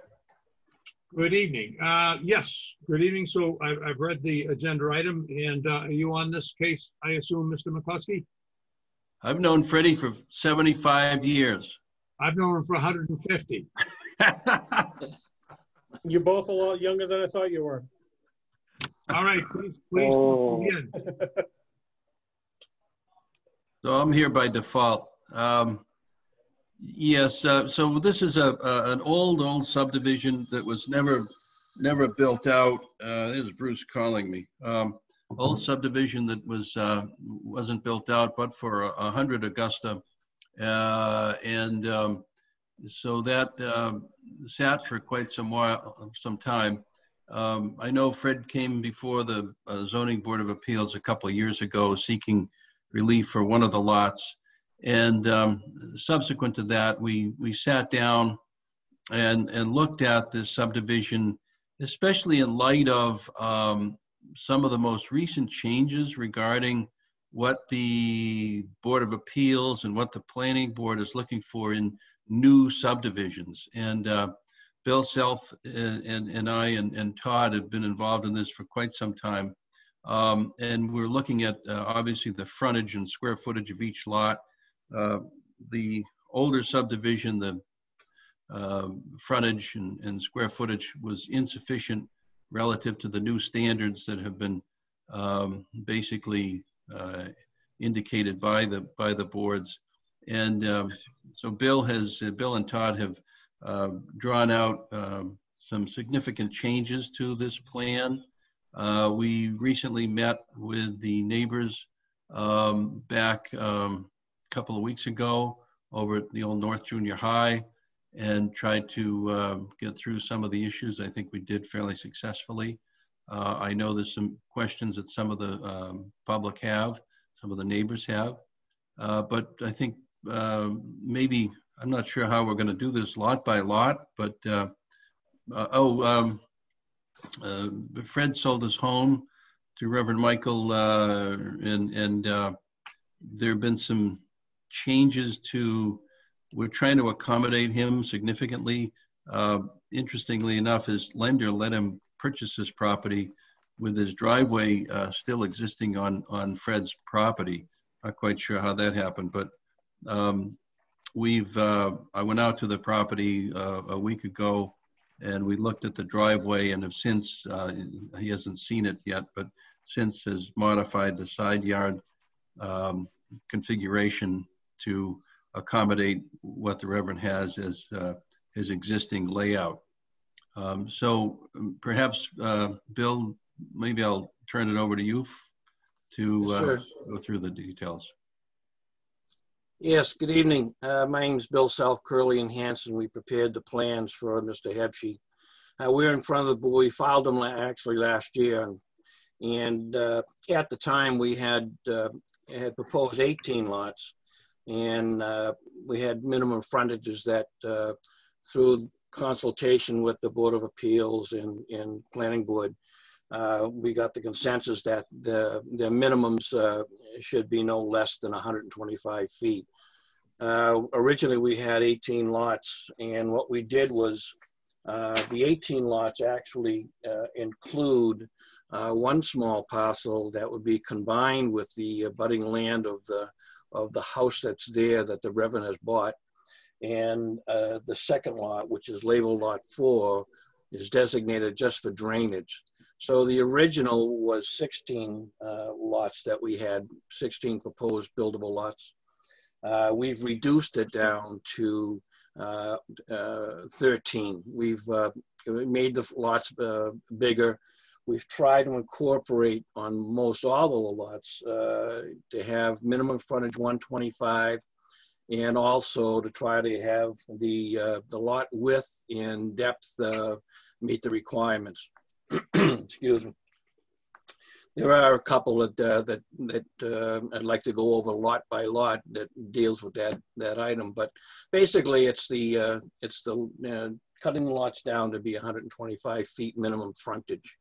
Uh, most of them, most of them have areas that uh, are larger than pretty much all of the adjacent lots in that area on the, existing Augusta Ave, uh, Angela, Cross Ave, and uh, out onto Prospect Street. Uh, so uh, the original the original subdivision was 1965. We've adjusted the roadways from that original slightly. Uh, back in 65, they had actually 21 proposed lots. Uh, so we're gone. We've gone from the original subdivision in 1965 down to from 21 down to 13. Uh, so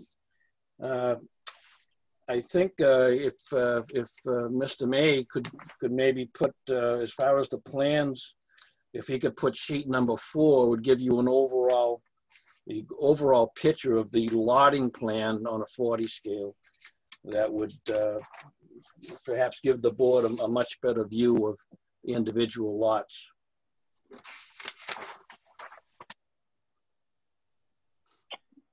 Just a second. Whoops.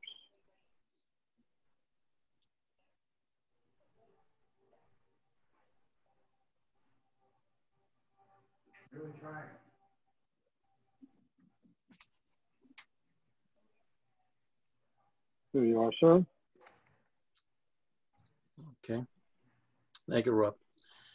Uh, As you look at it, uh, uh, John uh, just brought up uh, as far as the house the- that was number 100, the existing dwelling, 100 Augusta Ave.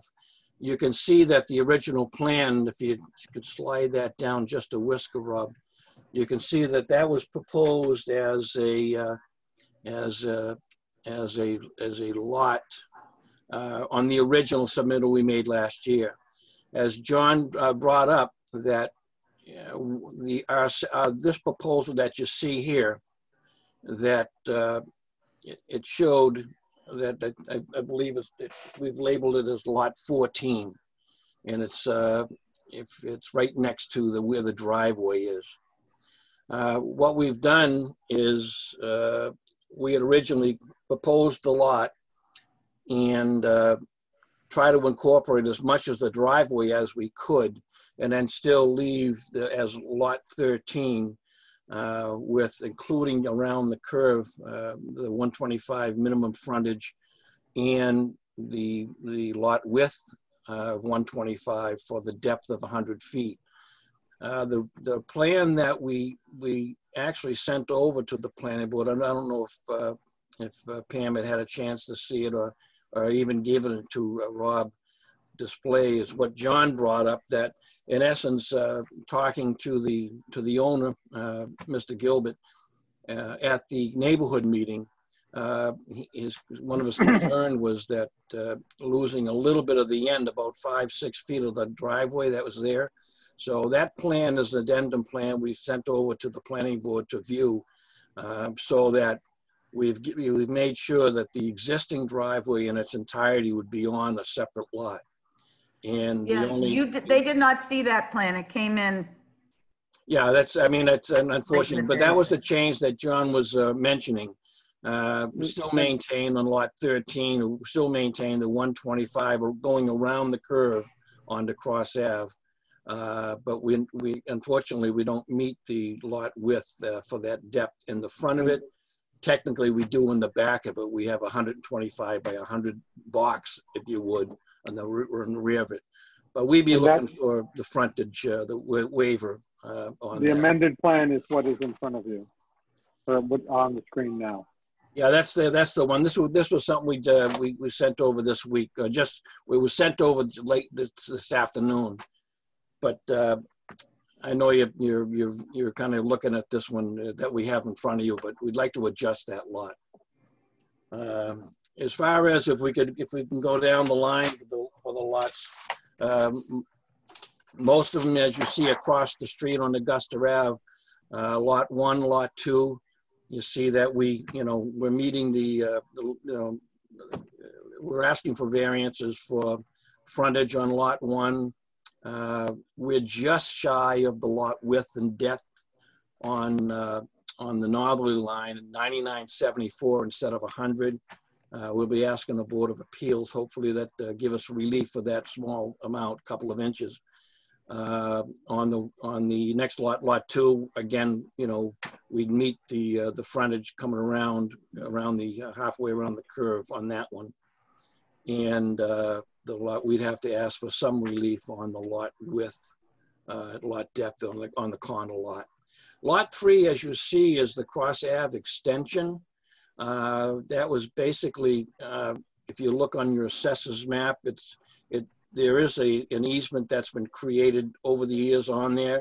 And it's for sewer and water and, and uh, that comes down from the existing public way of Cross Ave, stopping at the property line. And uh, so we basically held and fit that, that, that extension of the cross to intersect more of a symmetrical uh, intersection than it was originally proposed and going across and continuing uh, on, the longer uh, dead-end street. Uh, What that did, just the roads themselves, when they come up and intersect there, you can see Lot 3 is a creation, you know, of that intersection. There wasn't much we could do with it and then still extend the Cross Ave. Uh, We'd be asking for, even though we have adequate, uh, over 125 feet on uh, Augusta Ave, we wouldn't be accessing it from Augusta, we'd be accessing it from Cross. So we'd be asking for a relief down the frontage of 104 uh, or a waiver with the planning board. Uh, Lot four, again, if you, when we go to the larger plans, it, it designates, that's the drainage area, reserved for drainage area, not a buildable lot. Uh, uh, Lot five, you can see that uh, we're just shy, we have 125 minimum frontage, uh, 14,603 square feet. You can see that just that little jog in the rear of the property uh, prevents us from having that 125 for 100 feet. It's just, it just protrudes into that, that area. Uh, Lot six, uh, same 125, 15,000 square feet. Uh, We would meet the, uh, we would meet the, the lot width and depth 125, uh, 100. Lot seven, around the cul-de-sac. Uh, We've got plenty of area on through there. Uh, As far as frontage, uh, we, we would, uh, the 125 uh, by 100 foot depth regulation there. Lot eight, lot seven would be 27,799. Lot eight, same situation. Uh, We would be a little short on the, on the lot width, lot depth on that particular lot. We, we do have uh, proposing uh, 20,276 square feet on that lot. Lot nine, again, uh, we meet the, uh, we're, we're holding, asking for a waiver 125. Uh, We meet the lot width, lot depth on that. Uh, Lot 10 is the, is just shy of the lot width, lot depth by just, again, just a couple of inches. And uh, Lot 11, same situation, 125. That Lot 11 will be 13,637. Again, just missing a couple of inches on the northerly side of the, of the property. Uh, Lot 12, uh, we'd, uh, we're asking for, you know, relief down to the 147.36 from 175. Again, that meets the 125, 100-foot depth and, uh, and width for that lot. Now, Lot 13 is the one that's, you see here, it would have been 125 more than that. That's, uh, excuse the uh, total frontage listed, and that's an error. That was only halfway around. That was the total frontage on, on Augusta Ave under your regulations. Frontage is only measured halfway into the radius. Uh, so there would be another identical 17 feet. But, but if you, even though it technically doesn't meet the requirements of lot frontage because it's on the corner lot, it's uh, the you know the width of the lot uh, here is is is minimum 125, and that would be straight across.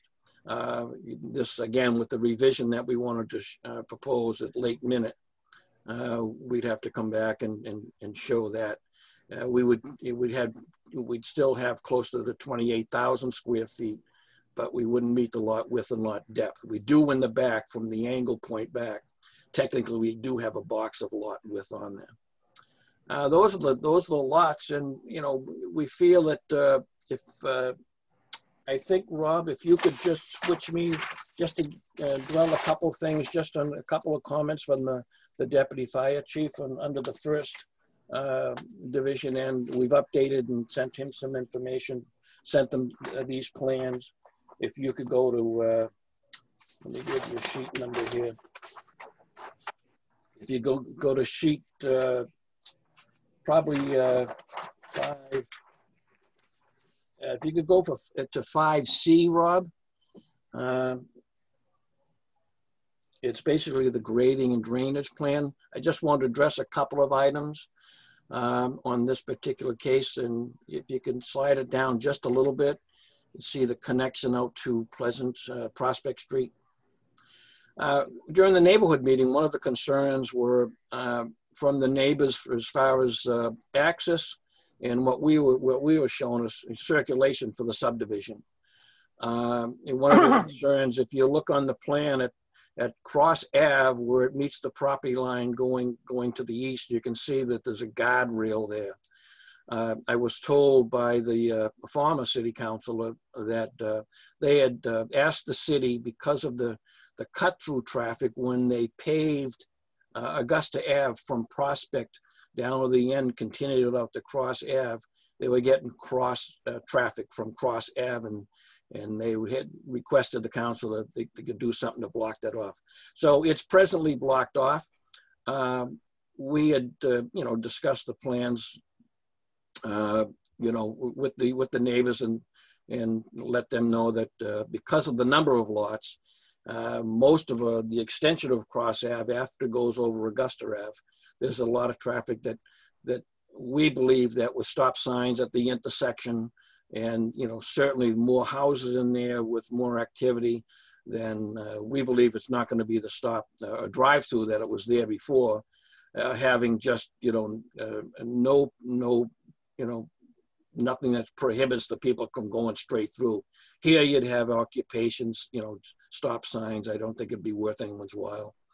One of the one of the recommendations that uh, that the deputy uh, fire chief had made was that I, as his letter states, uh, was that uh, he feels that because of the number of lots and the added, uh, you know, number of people there, that it should be open. What his what his suggestion was, and we take it, uh, uh, we agree 100%, was that the roadway, the guardrail would stay while the roadway was under construction until the roadways were completed, so that you weren't dealing with the construction traffic um, you know, trucks, things like that, safety issues. Uh, and then once the once the streets were in, the infrastructure was was in there, and and uh, they were started to you know to build the homes. They had the homes for sale, and then uh, the guardrail could be taken down. Again, uh, we've sent them over the new plans. Hopefully, he's had a chance to to take a look at them and send a letter uh, somewhere along the line to the planning board. His, his only other comment was he'd like to see another hydrant or two uh, what we did do was uh, send them over a, a, a, plan highlighting exactly the number of hydrants plus the existing plus the proposed so that he'd have a better idea be able to see exactly. So we we hope that we've satisfied his uh, request there. As far as uh, if we could go uh, back one rob i believe it's i believe it's 5b the input, again, coming from the neighborhood meeting, uh, was certainly the traffic that I, I, I, think was one of the main main items. Uh, of course, it was it was a, an area of quite a bit of dumping, and uh, as soon as the occupancy on 100 Augusta Ave, they kind of blocked out the existing paved access, and that certainly has ceased. So it's, it's helped at least that cause. If you see at the bottom, at here's the cul-de-sac Cross Ave, you can slide it up just a little bit. One of the concerns was some of the neighbors down along Augusta Ave, and that would have been to the east there, uh, plot 10, plot, plot 11, that the natural flow of the property is from, from west to east across the proposed Cross Ave, uh, which that would intercept quite a bit of the, uh, the surface water and put it into the drainage system. And uh, the other thing that we assured them that we've tried another, another projects and been very successful that uh, at the backs of our lots, uh, we would install a, an earthen swale. There would remain an earth and just a, a depression, a swaled area. It'll be grass, loomed and seeded. Uh, it'll be able to be mowed. Um, and hopefully with, uh, with their concern certainly was water. They get water now. Uh, that would uh, would certainly uh, improve their conditions as far as surface water. Uh, there's no guarantees we can make as far as water tables where the foundations are constructed. Certainly, that years back they they didn't pay a lot of attention to that. Uh, one other concern by one of the neighbors specifically that at, at the end of the cul-de-sac lot there, which is lot seven, was that he was wondering at, about the trees, the vegetation, and the land itself over the years, I think when they sat, when they built the first part or over the years, has not been a, it's not an original uh, site. It's been, uh, it's been dug out. It's been, you know, fill's been brought in, you know, so, but his concerns were about the vegetation of the, of the road, how much of the trees were going to leave. And we told him, you know, in this particular case, because the, because of the, the, topography of what's existing now and the nature of it, that uh, most of these trees would be would be probably removed, uh, except on the on the borders, on the edges. Uh, certainly, if there's any large native trees, uh, you know, healthy trees along the back properties of Augusta Ave, then uh, we'd try to maintain anything we could. But his suggestion uh, or his his request was that we uh, if we're going to lose the vegetation, to put a put uh, you know something like a stockade fence, and uh, you know through consultation, uh, we we believe that that would be something that we certainly entertain on the plans for the planning board to to have a view at, as well as the board of appeals. So along those property lines down in Augusta, you can see that they're they're very they're very small, you know, small lots themselves. So you know they're they're something that uh, uh, we we give them the privacy as well as reserve the privacy for the for the new lots and the new and the new homes that would that would be going in there. Uh, I think that's I've covered most of what we're proposing. Uh, basically, the the waivers we'd be asking for are the frontage waivers and the length of the uh, dead end by extending by extending uh, Cross Ave. If you could slide that down a little bit, Rob, uh, to show the intersection of, of the other street. Uh, it was just over 700 feet, but we asked for a waiver for the roadway depth because of the dead end. Uh, but uh, uh, it certainly gives it a better flow, you know, for, for the lots coming in there. So you'd see Cross Ave coming from from uh, north, coming down from the cul-de-sac down intersection of of uh, Augusta Ave, the existing intersection, then that would be about 700 feet in length. So basically, that's what we'd be looking for under the planning board uh, rules and regulations. Um, all right, Mr. Uh, Bill, are you, is that, does that complete your presentation? Yeah, the only, just if I could just touch on one more point, uh, Bob, is just uh, Augusta Ave, that was actually built partially uh, and from Prospect all the way out to Earl Street. That was actually built uh, in 1925. Within that, that easement rights were uh, for Augusta Ave, even though it's it's private now, was they they installed uh, uh, water, they installed drainage, and also installed sewer. So the infrastructure, as far as that goes, that you see Augusta Ave from Prospect out to Earl, there being a drainage, uh, there being a, utility easement from at the end of Augusta, presently existing out to Earl Street. uh, that was physically done. So we're actually tying into the to those to those uh, utilities and those uh, uh, drain and sewer lines that are out there now, including the water. Okay.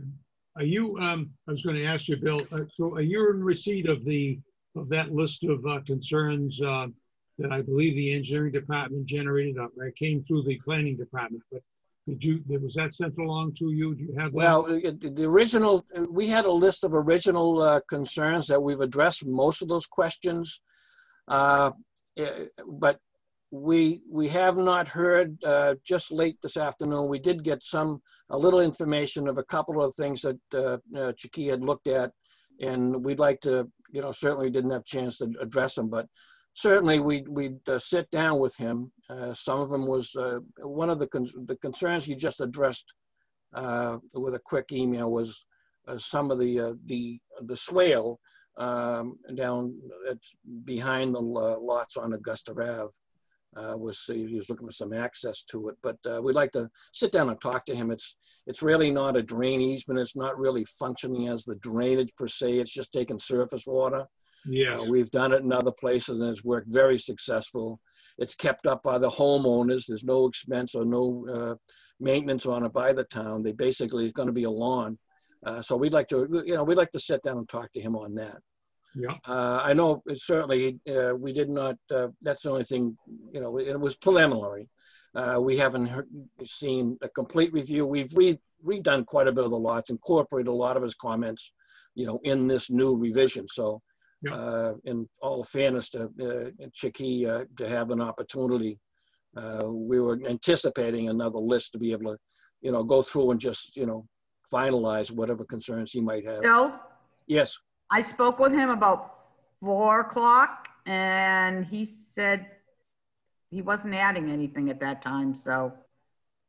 Well, he, uh, as far as the list of his concerns, one of the, a couple of the concerns, uh, well, well, we've already, like I said, we've addressed a lot of the concerns. One of the concerns were if you look at the sheets, uh, normally you might have a 40 scale throughout. What we've done is kept, you know, you've seen the, the sheet that's in front of us now, sheet four, but the rest of the utility plans and things like that, he requested that we, we put them on a 20 scale. So we have, our plans do uh, uh, tend to be a little bit busy. We like to put all the information on them. So at his request, we enlarged the, uh, the most of the set to incorporate that 20 scale, uh, make it uh, easier. It does make it easier actually for construction uh, in, in later stages and things like that, but that's one of the concerns. The only other concern that, that I addressed, and he, he had requested that we put this on the uh, Mass GIS system. Um, unfortunately, it, uh, you know, it, uh, if we had known uh, that that would have been one of his requests, we certainly would have would have would have done that. Uh, still maintaining the Brockton City base for the elevations, but um, to, for us to have to change that, I mean, it's not part of your regulations. Uh, but again, if we had we had completed the project, and uh, I'm sure Mr. Pelaggi knows that uh, how much work would have gone into having to do that at the last minute. So Yeah, that's, a- that's an awful lot of work. It's yeah, and, and again, if my, my suggestion was if, if, if that's gonna be the standard for the city, all, you know, uh, we as surveyors, uh, it's not an issue for us, as long as we know going in. Uh, we tie into that system and then, you know, we can, it could be adaptable, uh, you know, into most of your GIS maps as well. So to me, it's a good idea, but unfortunately not up to late state in the game for, for an applicant coming in. It's an undue expense for the applicant Yeah. we don't the buttons aren't that good on the on the on the on the new computers to, to rotate it and shift it bob Yeah. other than that that's where we, we'd asked uh, that uh, that we can you consider us the, the the system that we're on would be adequate So you, you know, in a nutshell, you know, uh, Bill, that, um, so the, the- that little, that little short laundry list that we got today that was, uh, the city, he's suggesting a permanent maintenance easement deeded to the city of Brockton for four, five, six, and seven. That's that thirty foot wide easement that you indicated in the back of those lots. yeah and i i, I- I mean i'd like to make, talk to the board uh, and and to chiquita again you know we've done this uh, up in Linwood Street and was very successful. And the, all the, the only thing, the only part of that that easement, Bob, would be if you looked at uh, the utility back in the fives. Uh, Sheet five, if I can just give you that sheet, Bob, and you could put it up there. Yeah, I'm looking at 5D. Yeah, five B, if you look at five B, uh, you can see down, the only, the only part that, that would, would have, uh, we feel a, a, point of maintenance would be, would be down at the, where, it- where it cuts into Augusta Ave. You can see that the catch basin, Yeah. you can see that there's a, the- that last contour of one fifty-seven, Bob. Yep. Uh, that's pretty much, we, we're trying to slow it down, so any, and it's only gonna be in a heavy rainstorm that you, you're probably gonna see. It's just coming off the grass in the back of the building. Yeah. Uh, You can see on on all of our lots, we have the recharge from the roofs going into, uh, into recharge units that'll be sub, subsurface. So we're not putting the roof drainage in there. So it's really to, it's really as a mechanism to uh, try to prevent what the residents already were getting. Uh, that was overland flooding at some, you know, heavy, heavy storms. So we know that this could, could really resolve some of the problems. But as far as the maintenance, if you look down at the intersection, you can see the catch basin that goes into the existing manhole E5. You can see that we do have an access road right there, right next to the basin, which would be the only part of the uh, functioning, you know, uh, drainage uh, easement that would be, you'd need, you know, maintenance on. Well, what, that's, exa- that was gonna be one of my comments. I thought, looking at the plan, and I saw Chikay's recommendation or suggestion for an additional ten-foot wide access along the back of the length of the easement. I mean, your lots, your building lots are impacted enough as it is. And I'm not, I'm not hundred percent sure. I mean, there's another way to address that. I think you just began to do it. This is my personal thought.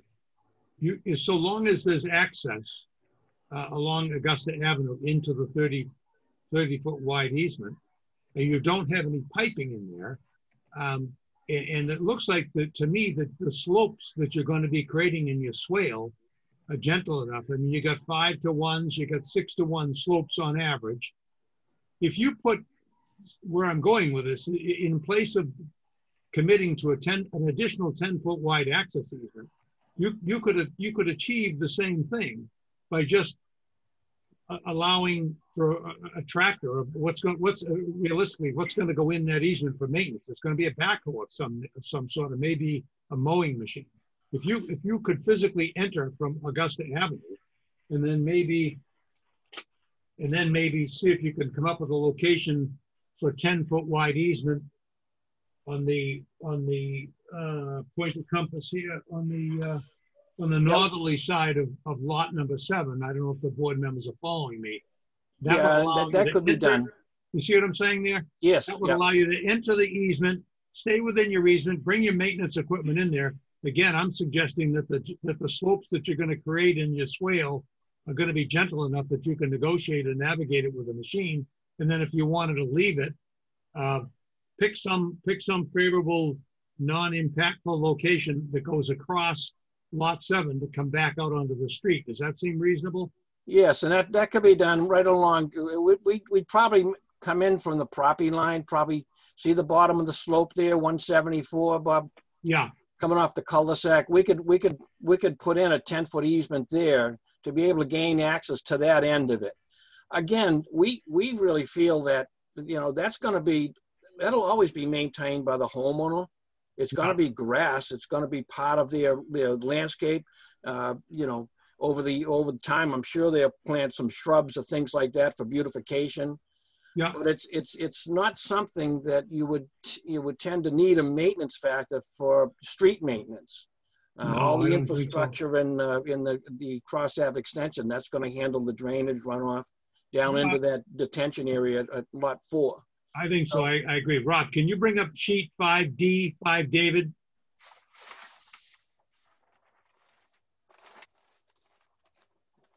Working on it. Thank you. Thank you, Rob. And then when you get that, just focus on lot number seven. I mean, I'm just, I mean, it's up to you guys what you want to design, but I was just suggesting something. You see, Bill, where your, you, you, where your grass swale begins or ends? Yes. To the- rear. I mean, you've got some fairly flat ground there. you, you could, you could, you could create an easement of 10 or 15, whatever you want, 12 foot wide easement. Yeah, I agree. To get a vehicle, you know, because that, that area that you're talking about is, uh, that's fairly sloped, but you get the idea, is pick someplace there and then that, that completes the circuit for a, a, a- for a, for a uh, maintenance vehicle, should you need one. And then you And don't that- have to, you don't have to further impact the backs of these lots. Right. And again, I would, uh, we, we could certainly, I, I'd want to keep it at the, uh, just off the bottom of the slope at that one, uh, 174 grade. Yeah. And then be able to run it right in there and then exit, uh, you know, is, you know, right at the end of the cul-de-sac, which would be, you know, more than enough area to, to be able to access it. Sure. Well, it's just my thought anyway. Yeah, I agree. I agree. Yeah. Does the board, does the board members have any other thoughts or comments or?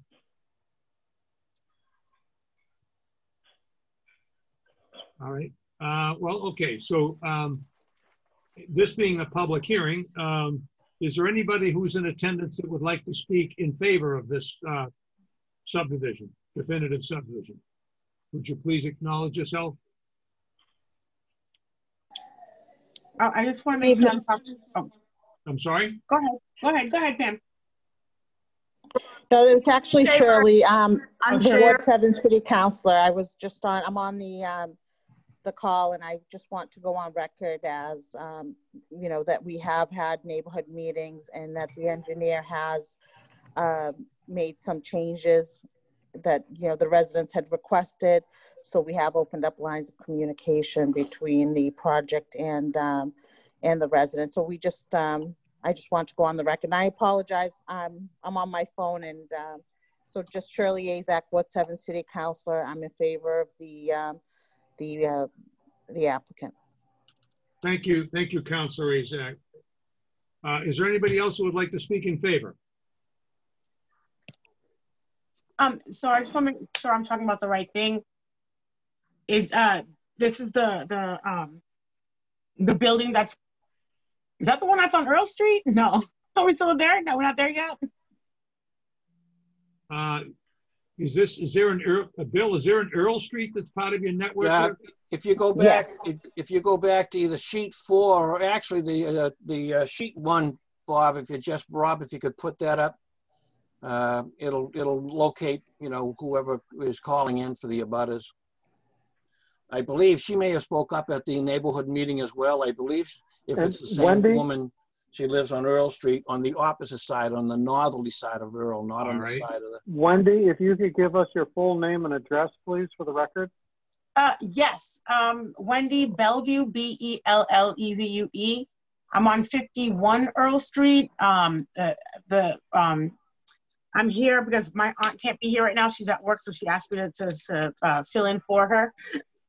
And we just uh, question on the building that's being built here because there's a lady next door that came over and, and was, and this is our first meeting with you guys. And, and, um, because the lady next door was saying that she was very adamant about not having it be built, whatever it is, because she said that um, what's going to happen is you guys going to build like you know like some tall, multi-level, in low-income housing building that's going to reach all the way down to Prospect Street and No, cut down all the trees or something like. I don't really know what she was Yeah. trying to tell us. That's why I came to the meeting and get more information from you guys. Is it an apartment complex or is it a house that's Well, like, these, these are, this is, this is a single, single family residential development, ma'am. Single family residential development. Oh, okay. So so Yeah. it's not going to be like there's not going to be a, a street. The only street that we have that's access down the road is going to be the one that's um uh, like the Earl Street um across um that connects to Cross Street, right? It's not she there's not going to be like a road that's going to be coming out of nowhere that connects to Prospect Street from Earl Street, right? I. No, actually, Bob, if I could answer the woman's uh, Please, question. yeah, go ahead, Bill. Yeah, you know, Earl Street is not, uh, we're not, we're not disturbing any access to, we're not proposing any access to, from our division uh, over to Earl Street. And uh, in fact, that's why, one of the reasons we didn't uh, uh, extend Augusta Ave uh, all the way from where it is now to the, to the section where Angela Terrace starts on that first sheet. Uh, knowing that we didn't want to have any effect on the existing houses on those street streets. Uh, and, and that's why we had to, we, we chose to just open up the Cross Ave and make that for the circulation. But uh, as I explained to the woman, uh, maybe that was her your neighbor as well, but uh, that they were actually on the opposite side of the street than from the division, and that there was no impact at all from us. And they are single family, uh, hopefully four bedroom, some well, most uh, hopefully with a two car garage. It'd be very they're going to be very nice homes. Uh, hope, hopefully be nice colonials and uh, it'll really provide a, a, a market uh, for hopefully the economy stays up where it is now. Nice. Okay. Um. Okay. That sounds good. Um. So I am. I'm for. I mean, I'm. I'm. I'm for it. My um. Especially my aunt who owns this house, who wanted me to, to also come to a meeting and say that she's also for it. She's uh, uh, agrees or um pro the plan. I don't know what the official term is, but we're for it. Build the house. Right, Thank you. Thank you for your input. Is there anybody else who would like to speak in favor? Is there anyone else, excuse me, is there anyone else that would like to speak in opposition to the project? Uh, Mr. Chairman, there was a comment uh, from a Philip uh, Dacus, I'm sorry, from uh, 172 Augusta Ave uh, extension, and I believe he is still on. Uh, he is unmuted, and if he would like to uh, provide his testimony, we would appreciate that. Can you bring that page up? Is that possible to bring that location up on the screen, uh, Rob? Uh, sheet four, Rob. Sheet four, thank you, sir.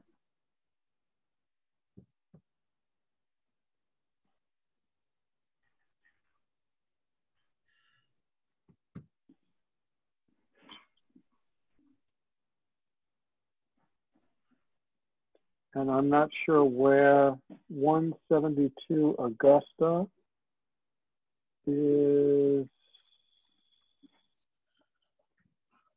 Uh, 170. 170. Is he asking if he's at the end of the road? Um, oh, it is 170 Augusta. He is typing.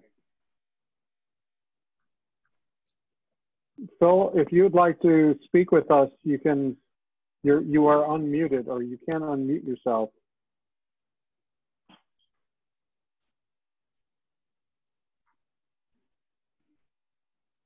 Sir, you, uh, are you able to hear the proceedings of the meeting? Um, Robert, uh, Mr. Chairman, this is Shirley Asack. Actually, uh, Philip came up after the meeting that we had the abutters meeting a few weeks ago at North Middle School. Yeah. And his, his comment was that he spoke with, um, Mr. Self and, um, that they came, Mr. Self, uh, the engineer stated that he would put in some sort of a stockade fence be, behind the homes um, for privacy. So that's, I think he just wanted to go on the record to make sure that that that was in the um, that that was a stipulation there and that they came to an agreement. So, um, Bill, I don't know, you know, I'm, he he stated that he spoke to you and that was an agreement that you and him um, came upon, and that's what his comment says in the chat. Uh, he did come up to me after the meeting and stated the same thing. So I think he just wants to go on the record, um, you know, that this was stated. Did you, did you already address that, Bill? Yeah, that's what I, I believe that's the individual that I did talk uh, at the uh, at the end of the meeting. Uh, thank you very much, Shirley. Uh, and I, that, you know, that was one of the concerns, and and I'm sure that the other neighbors down along probably have the same. Uh, that that it, it would be something that we would propose uh, to put the stockade down along those five houses for the length of that uh, that uh, back line of their back line and the rear line of the newer lots uh, coming off of Cross Ave up at the top. We would also uh, be willing to include that as a stipulation to any variance uh, determination Mhm. by the Board of Appeals. All right, so noted. Mr. Chairman, Fred from 158 Augusta would like to speak. Okay. Fred, the floor is yours. I saw, he, he typed a note. Hello? Hello? Hello, Fred, go ahead. Uh, yes, my name is Frederick Coleman. at uh, 158 Augusta Avenue extension. And um, my house is behind lot seven. And um, I hear you guys talking about swells and water and everything. But I just want to be um, quite clear that I had never gotten water. We had never gotten water in our basement since we've been here. And what you what you guys are talking about now is very concerning to me when you're talking about behind lot seven, that which is right behind my house. When you're talking about swells and water and drainage and problems and stuff like that. And um, I'm really concerned about coming home one day after a rainstorm. And uh, my house is the basement is flooded. I do have my basement is a livable basement. We do have furniture, we have TVs and everything down there, AC units, and um, and that's what I'm concerned about. And I don't know how you guys could once if this was to happen, would be man-made, and I don't understand. And how would that affect me? And how would I be able to replace this? And who do I have to come to to get it fixed? All right, well, we, uh, Bill, for the record, is that, is this gentleman on plot, um? is- I'm, I'm, I'm at 158. It's plot 11, Bob, Plot 11, map Augusta. 37. Oh, map 37, plot 11? Okay. Well, the, I mean, you can explain it, uh, Bill, but the, the- obviously the purpose of establishing the swale is to intercept the- any sheet flow that's heading his way. In a nutshell, that's what you're doing. Yeah, it's- it's sheet 5D is, uh, is a clearer picture of that lot 7, Yeah, Bob. that's what I'm- that's what I'm open to. Bill, if you'd like me to jump in? Please, Todd, yeah? Hi, Todd Pilling. I'm the engineer that uh, did the drainage um, layout for this. Um, So what we're putting in behind these houses is a, we, we call it a swale. Another word for it is a channel or a ditch. We, we call it a swale because it's going to be a grass lined. But we're digging down approximately two feet down from the existing grade in order to catch the, any and intercept any water that's flowing off of the backs of these lots, off of the new houses and diverting it into our drainage system. So no water will be going over the property line into these properties on Augusta Ave extension. Okay, so you guys, what you guys gonna do with the drainage? Are you gonna widen the drainage or because it's gonna be even more water once you do that, right? No, this is just an interceptor trench that's going to take the water that's running across the surface and divert it into our drainage basin that's a few hundred feet um, down Augusta Ave from you. Okay. Uh, down to where the end of the uh, pavement ends on Augusta Ave, that's approximately where the drainage basin is going to be. So we're taking any water that would normally head toward your property and we're sending it all down into that drainage basin. And you guys sure one hundred percent this is gonna work? It would be almost impossible for water that is running across the ground to jump up a two foot. Oh, I, I, I don't know. I mean, Yeah, yeah, so it, it, so things happen, you know? Yep. So um, it, that's why we're cutting into the ground like two feet. We're not just making a little three inch swale here that's going to get filled up with grass and overflow. We're making something two feet deep that can catch any water. And even if there's leaves in there or the grass starts growing you, and trees grow in it, it can still channel the water away. Okay. And another thing I have during this, um, the process of digging up the rodents, are, are you guys gonna be putting down anything to, for the rodents, the rats and, uh, and stuff like that during this period of, uh, construction?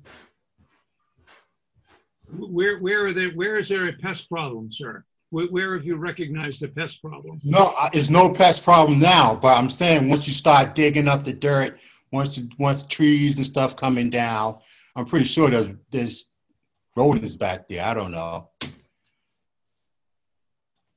Well, Doesn't that happen though when you, when construction? I mean, you, you're gonna get, I mean, you're gonna get squirrels or maybe small, small, small, small animals that, that are gonna be displaced, but they, they'll relocate in the wild somewhere. They always do. Yeah. No, well, I'm just talking about rats. That's what I'm talking about. Well, that's Or why I asked the question. Did you recognize the rat problem there? Is there a problem? No, not at the moment, no. If I There's could jump in, Bob, on Not this. at all. Please. Uh, you you know, we're not, in in any construction site, it's hard to predict what would happen with uh, anything that's in natural state.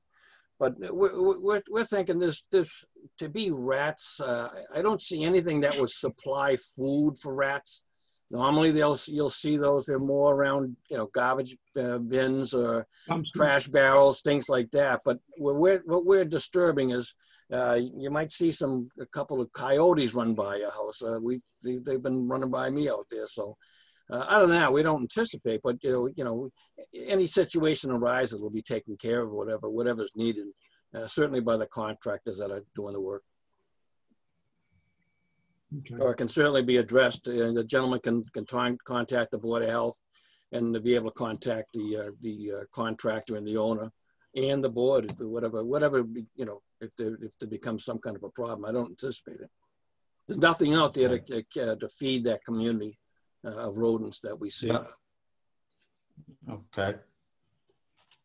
Does that, does that address your concerns? Well, I'm not saying I'm for it and I'm not against it either, but I'm not, all nothing, right. I I don't think it's don't have to be. If We appreciate your concerns. Yeah, but I'm just, I'm just concerned about my neighborhood, that's all, where I live. Yeah, we Where I have- appreciate your input. Um, does that, does that you. complete your, does that complete your question, sir? Uh, I believe so, yes. Thank you. Thank you, thank right. you. Is- Is there anybody else who would like to speak in favor? Uh, Is there anybody else that would like to speak in opposition to the project? This is Denise Cahill. I would like to ask a few questions. Please, yeah, identify yourself, Denise Cahill. And what's Yes. the location, please?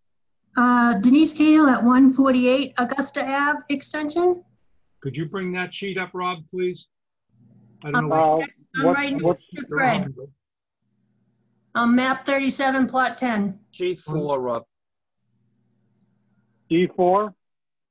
Sheet uh, four, just sheet four. Let's go to sheet four.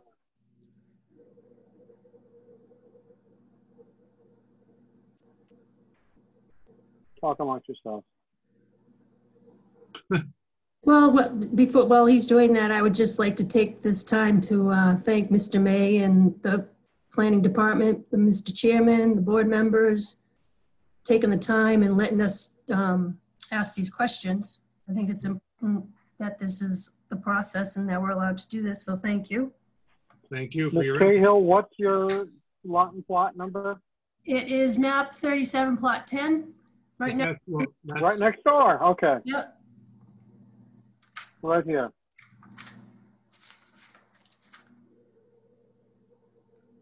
Just um, for clarification, right, the subdivision rules and regulations say that the road should not be longer than 700 feet. How long is this road? Could someone, Uh, I think you addressed that already, Bill. Yeah, the, uh, the extension, the dead end st- extension would be at 874.6 feet. okay, so approximately 174 feet longer than what the rules allow. But uh, Rob, I- actually, the, the roadway itself, that distance is from Cross Ave that, uh, that ties on to the existing Cross Ave. So it, that's actually from across Augusta Ave. We, we, we show that as the complete street coming up. So it's, it's closer to probably, probably, uh, uh, it's probably seven, seven, or just very close to 700 feet. If I can But look you at have the- asked for a waiver from that, correct? Yes, he has. Yeah, you've asked for a waiver. You listed that as one of your waivers. That's Yes, it correct. has. Yeah. Okay, um, my next one is in the rules and regs, right? It says that it talks about s- trees, um, and that tree is six inches over in diameter, measuring four feet above the finished ground level, should be preserved. And then in the O and M plan, it also states that they're supposed to be delineated. The the existing trees to remain should be clearly delineated. Will that be happening prior to construction? Um, he has the right to waive, ask, that's another regulation that he has the right to waive. What is the, what is the, so what is the minimum, uh, tree size that needs to be, uh, located on the plan? Was it eight inch diameter? The rules and regulations say six inches Six inches, sir. Yeah. measured four feet from a ground, from ground level. And that's also in your, well, your O and M plan, right, states that they're supposed to be delineated before the trees that are to be saved are to be delineated. Wow. Hmm. So is that a no, that that will not be happening? Well, that's up to the applicant. He has the right to, he has the right to ask that that, um, for a waiver of that, uh, is it really densely wooded there, uh, Bill?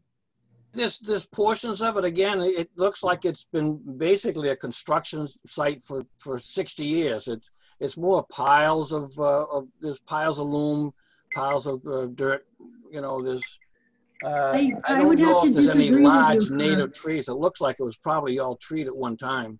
Yeah. Again, any of the native trees that are out there, the larger trees that we can save, they're probably gonna be mostly on the outskirts of the lots for, you know, for buffers on the outsides. But, uh, uh, Did you, uh, did you have a particular concern relative to the trees, ma'am? Yeah, I just don't want them taken down. if They don't have to be.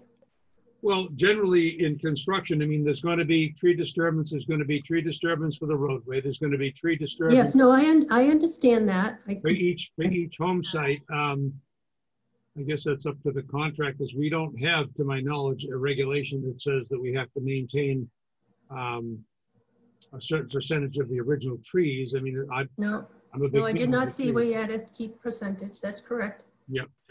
But I would, I, would- I mean, I've been in this house for 22 years and as far as like a construction site, there has been no activity out behind me in 22 years. So it's not, you know, sand, dirt, whatever, has not been dumped there recently. It's been like that for 22 years. And probably longer. You have a, I mean, not that you need to disclose one at this time. uh, Mr. McCluskey, do you have a developer in mind for the project? Is it, is that something that we could, a concern that we could pass on to the developer? Uh, I know there have been some interested parties. Uh, Really, the, the, the, the question is, uh, for any developer, is what's going to be allowed and what are, what are going to be the restrictions? Obviously, that, you know, plays into the cost of any, of, of anything. I, I will tell you, um, I have a client who has developed several properties uh, very successfully in Brockton over the years, uh, is well received by the city and, and does what he says he's going to do. I don't think I'm at liberty to, where it's so preliminary, I don't, I don't think I should Yeah, mention it. that's, that's fair. That All is right, fair. thank you. All right, Thank you. Um, the grass swale, which we've really talked about at length, um, I've kind of heard the conversation go back and forth. There will be an easement created for that? Is that what I was hearing? Yes, there's an easement that's shown on the plan, a 30-foot wide as required by the city. Right. Yep. And that easement will be put into these lots as a swain, a drain swale easement? Yes, that's the, uh, as shown on the plan. Okay, thank you. Um, you talk about it being their backyards. I've been around enough construction that people tend to use the drainage swale for their dumping grounds, for their leaves and their grass clippings, and we've all seen it. So, yeah, just to make sure that that easement is on the property so they know that they cannot do that. That would be appreciated. The, uh, another variance, the sidewalks, the rules and regs require an eight-foot sidewalk, and you're asking for a five-foot? Is that correct? I don't believe we asked for, we- we require a five-foot wide sidewalk, both sides. I believe it's five-foot, Bob, with three-foot grass strip in- in, uh, in some cases. Eight feet. Yeah, the But grass, it's a, it's a, it's a five-foot sidewalk. the actual walk is five feet both sides. You- You're gonna waive what? You're waiving one sidewalk, Bill? Uh, in actuality, look at, we, we know that, uh, it's, uh, we're asking for, you know, really, especially through the Board of Appeals. Uh, we certainly didn't, we didn't minimize, uh, uh, what we're gonna build for the road. We expect that to, we expect it to be a very, very nice subdivision. If they build a nice, nice homes like they have been building in the city, we've proposed sidewalks both sides. If you'll notice that we have lotting uh, that would need access from both sides. So uh, in this particular case, uh, to allow for sidewalk on the other side, I think is a small cost, overall cost uh, to, you know, if the boards uh, find that they'd allow us to have, you know, you know, the, uh, the X number of lots that we're asking for. So Sure. we're not, we're not anticipating any waivers for, you know, roadway construction as far as widths and, and things like that. Granite curb, sidewalks, they're all proposed. All right, thank you. Any other- any other concerns, Ms. Cahill? Yes, I'm just getting started. Um, They are looking for a, uh, for a variance for the drainage, right, which I did a rough calculation that forty-six percent, roughly approximate, right, approximate, forty-six percent of their drainage less than the required four-foot coverage.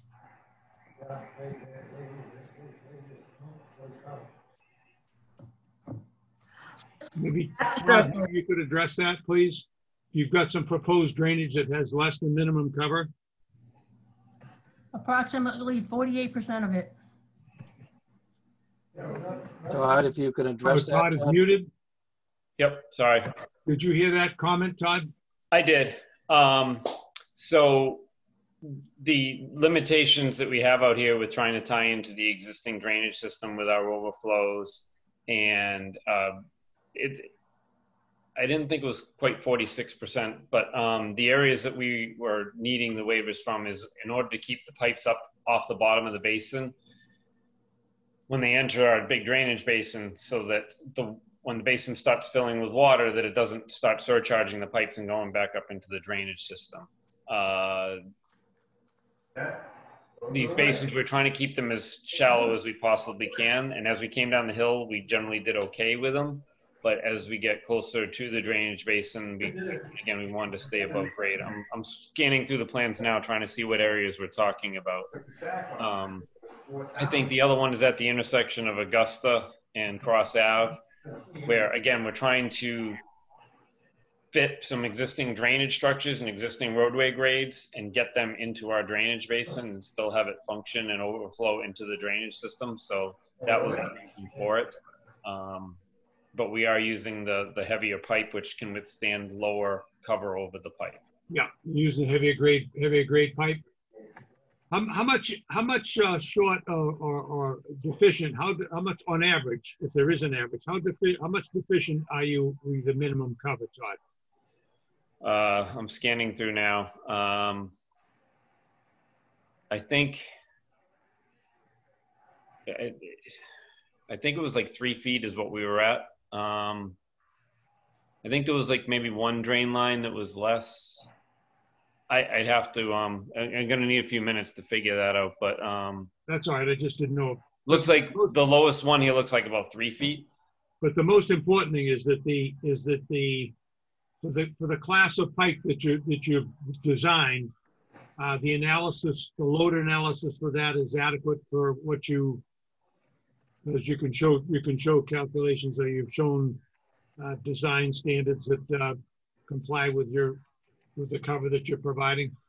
Yeah, well, the, the, the, the regular concrete drain pipe that's in most towns, three feet of cover is, is what's needed. Brockton requires the extra foot of cover over their pipe. So um, I'm pretty sure, I'm, I'm again, I'm checking through now. Um, I know there are also, the, the engineer, city engineer commented on some of this stuff too. So um, Yeah, if I can uh, uh, intervene here, uh, Bob, I, I think most of all the drainage is three and a half feet cover.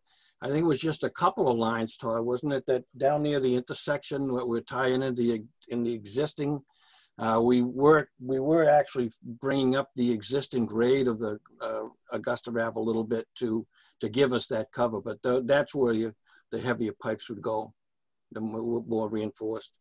Yeah. But I think overall, we, you know, we had a minimum of at least a three, uh, three and a half feet.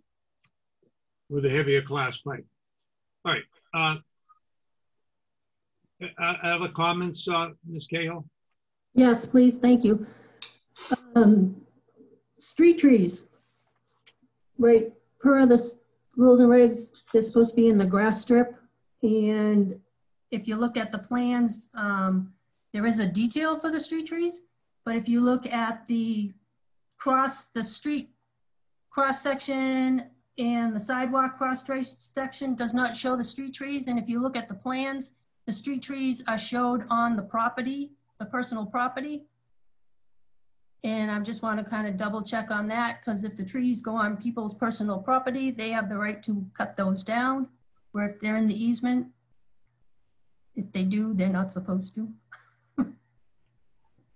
Are you, are you going, so is it your proposal um, to, to add the street trees as part, you said you're going to follow, you know, the regulation? uh, as Yeah, far as most, you design know, as you say, as you see on the, uh, on the plans, you can see that we're, we're trying to, you know, keep them back at least three or four feet from the sidewalk. You know, over the years, you know, trees, a lot of people, you know, we plant the trees, but uh, six, seven, eight, ten years, they start ripping up your sidewalk. So uh, we planted them, uh, you know, back a little bit. Uh, what we could do, Bob, uh, I'm, I'm sure we need to come back to the planning board for final review after Board of Appeals. Uh, what we could do for the, even for the Board of Appeals, we could, we could show a 10-foot tree uh, easement along both sides. That's really our intent is to, is to keep those in there. A lot of times, the utility company, especially electrical, ask for an easement there too, so we can make it a tree planting and utility easement or whatever. So Yeah. And she said you, you, you need to show, you just need to show a typical tree on your cross section or something? Well, there's a typical section there. Normally you just, uh, yeah, the trees don't show up on that, but we can add it to it. That's not a problem. Okay. And will you, sh- will you add the 10-foot tree easement on the plan also? Oh, If you, if you notice on sheet 11, Bob, the details sheet, we show the, uh, you know, your typical deciduous uh, tree, uh, uh, tree planting detail. You do, yes. the- Basically, that's what we're trying to, uh, you know, we'll accomplish that. Again, we, s- a lot of them, they'll put them right up next to the back edge of the sidewalk, and it doesn't take long uh, for them to start tearing up the uh, backs of the sidewalks, you know, through root expansion. It's very true. Okay. Um, Okay, um, and I need a little help with this also in that I do believe, I thought per your specs that the required frontage is 175 feet, The required what, I'm sorry? is 175 feet? The frontage. The Frontage, okay. Yep. And when Mr. Self was speaking, has, have they already gone to the zoning board? Has he already got it approved as 125? Did I, No, I believe his next step is to the zoning board. okay, so given that, right, again, through my calculations, I don't show one lot that meets the zoning board requirements. He, he's going to, he's going to go to the zoning board of appeals with his client, and they're going to ask relief from uh, zoning, the zoning requirements as needed. He's going, that's his next step. That's his right to do that. Okay, thank you. Um, I do have, I have questions where the existing Augusta Ave extension meets like the wooded area that it appears that that wooded area will, like where Cross Ave, um, uh, what am I trying to say? The intersection of Augusta and Cross. Thank you. Yes, Augusta and Cross Ave. The portion, like the, the, where the private meets the public, Uh, What page would that be? Probably sheet five, uh, 5C, Bob. All right.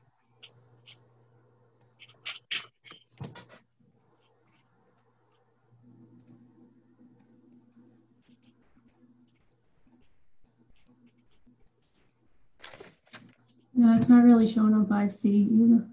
It doesn't show very well No. on 5C. She said where the public meets the private. Are you talking Augusta Ave? Yes. where Augusta stops. All right. If you look at sheet five, uh, it's actually five A and five B. If you look at five B, I believe, at the very end, uh, Rob, uh,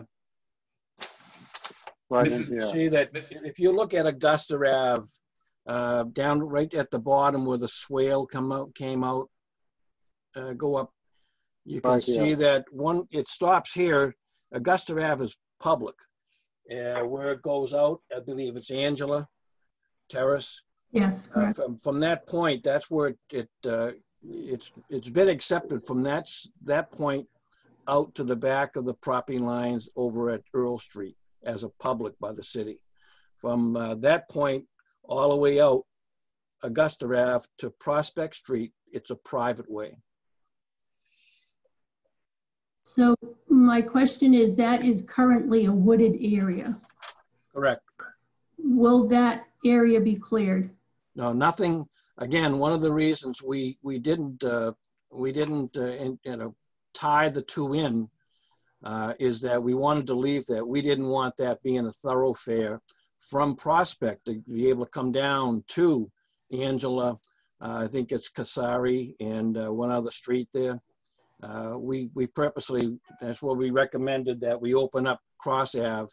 uh, Then it would just be right through the intersection straight for the the Cross Ave Extension people to get to Cross, Cross Street to be able to go north and easterly without having to go all the way down to Prospect and come back up to Cross and then turning northerly on Cross from Prospect. So, no, from there to the intersection that's already paved now that you know uh, on the ground, there is not to be any disturbance other than just, uh, you know, a, a small gravel, uh, 10-foot gravel uh, path that's- around the detention area for maintenance. Okay, thank you. So none of that area will be disturbed. Correct. So, so the con- There'll be some grading in it, but it, it'll be minimal grading just to, uh, to meet the, what you see in the plan. But there, there's, there's not gonna be a, uh, an effort to, there's, there'll be no through traffic, ne- either pedestrian or, or, uh, or vehicle, certainly no vehicle traffic. It'll be remained, uh, it'll, it'll remain the woods. Well, if, if I may just add to that, we are tying in from that grass swale, the drain pipe into the drain manhole there. So we are going to have to be doing some construction to tie in the overflow. Right, right. Right, just construction. Well, and I thought, I thought I saw a plan that had the contractor's laydown area was in that spot. Well, that's a, that's a temporary, that's a temporary, uh, under the erosion control. And that's a temporary space, you know, uh, right near where the, the house on lot three would be built. But as, as part of the reg, uh, as part of the, uh, so as the part of the erosion control, that's where all the uh, construction trailer would be parked. Uh, check in, there'd be a small parking, gravel parking area. Uh, Right, and once I- that's, I- once the project is completed, that'll be removed and, and, uh, it'll be, you know, turned back into a lawn probably and or, you know, some plantings in there. But it's a, it's a temporary situation under the erosion control. Okay, thank you. I- think this question was answered early as far as the, the construction vehicles entering and exiting the site. You had talked about leaving the guardrail up on Cross Ave extension uh, across Ave. So I assume mm-hmm. coming in from Prospect Street. Yes, that, that's correct. That, that was under the recommendation of the uh, original review for the uh, deputy chief, fire chief. uh, And we, we certainly wanted to, uh, we agree in a hundred percent that during the construction phasing until the houses were, were built and starting to be sold on Augusta Ave, that it would remain closed, basically to allow the infrastructure for the, the street, Cross Ave extension up to the cul-de-sac to be built. That's where you get most of your heavy you know, truck, uh, you know, traffic and bringing in material and taking out material for, for building that road, that part of the roadway. So all those vehicles will be, uh, under the construction phase, will be sent out to Prospect Street. Did you have anything else, uh, Ms. Cahill? Could you tell me, um, I assume this would be for Mr. Pilling, what is, what was the di- design cr- criteria for the infiltration basin? Uh, Storm, 12 year storm, what, oh, um, yeah, we designed for a hundred year storm. 100 years? thank you. That's required by the Brockton regulations. That's what, just asking. And Mrs. Cahill, I just want to say you've been very thorough with your review of these plans. Thank you. That's my job. Um, want to make sure you're on your toes. Oh, Uh, Has any, has there ever been discussions about a fence around the basin to prevent somebody from? On previous projects I've been on, they've been required to put a fence to prevent children from possibly falling into a basin. That might Well, help. you- if I can, uh, if I can jump in there, Bob. uh, Sure, go ahead. What, what happens, that, if you looked at the basin on, uh, on uh, sheet five B, uh, Bob, uh, you- you'll notice that these thing, these basins are designed to really only hold back water on a, on a, a certain rainstorm event. They, they fill up according to that type of an event, but in all actuality, they're designed to end up to drain free. So that, you know, there's, there'll, it'll be a grass, uh, it, that's actually gonna be a grass basin. Uh, it'll be mowed, it'll be planted grass, you know, seed will be planted in there. It's only in a certain rainstorm events that it's designed to hold back the water coming off the street drainage and allow it to, to fill up there so it doesn't overtax any drainage coming into the existing drain pipes that are in Augusta Ave. So it's, it's Yep. even though it's a, it's a, it's a, it may appear to be a hole in the ground, it's designed for temporary storage of, uh, of water. Can I jump in for just a second, Mr. Go ahead. Chairman? That is something that, uh, it is in our regulations for some strange reason that we have, uh, six-foot fencing around these places. And, um, uh, basically the, the fences then prevent the areas from being maintained. And we, what we're building are, are, are prisons for water. Um, and, you know, it, it catches garbage and, and all sorts of things. Because these are retention ponds, or detention ponds and not retention ponds, pardon me for that, um, the water does drain out almost within hours after the storm. And um, there's not going to be large amounts of ponding that could become uh, problems for um, folks. But uh, if you look, um, all of our natural ponds across the city um, don't have any fencing around them. And um, we don't seem to have problems with um, uh, children in those ponds. So, what I would, in the future, I would like the board to take a look at those design guidelines um, to remove that requirement. That's a good idea. You- You're going to find that most communities now have done away with fencing of detention, uh, detention and retention basins. That's a, it's become the thing of the past. Okay, thank you. And um, the basin itself, I, I've talked about this a year ago when we were at the meeting. Does the city maintain the basin at the time of completion, project completion? Can I answer that? Maybe. Um, we have a new stormwater ordinance, um, and we are waiting for some guidance from the city engineer and the um director of public works to discuss how that operates. It's my understanding that in the future, the stormwater systems are going to become managed by the city. Uh, right now, most of the stormwater systems are, are managed by homeowners associations or worse, are left to neglect uh, and just kind of abandoned. So um, we will have to get back to you on that. If we don't maintain it, then it certainly would be a homeowners association. But right now, it looks like the, through the stormwater ordinance that the city would be taking over some responsibility. But we will know more when this comes back as a definitive subdivision. So there's going to be another public hearing at the planning board um, where we can have an answer for that, I hope. Okay, thank you. And just just, I just want to reiterate what Fred and Joanna had expressed, right? I've been in here for 22 years and I have had water in my basement three times. And that's when the whole city was flooded. So I just want that on record, right? That I don't have a water problem at this house. Very good.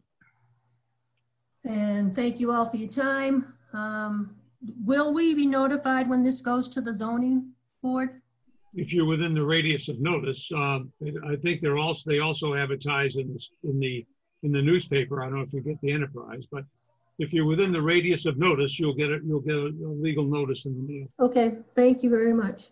Thank you. Okay, is there If anybody she else? received this notification, she would have, she'll receive the zoning notification. Is she re, the actual notification from Bill?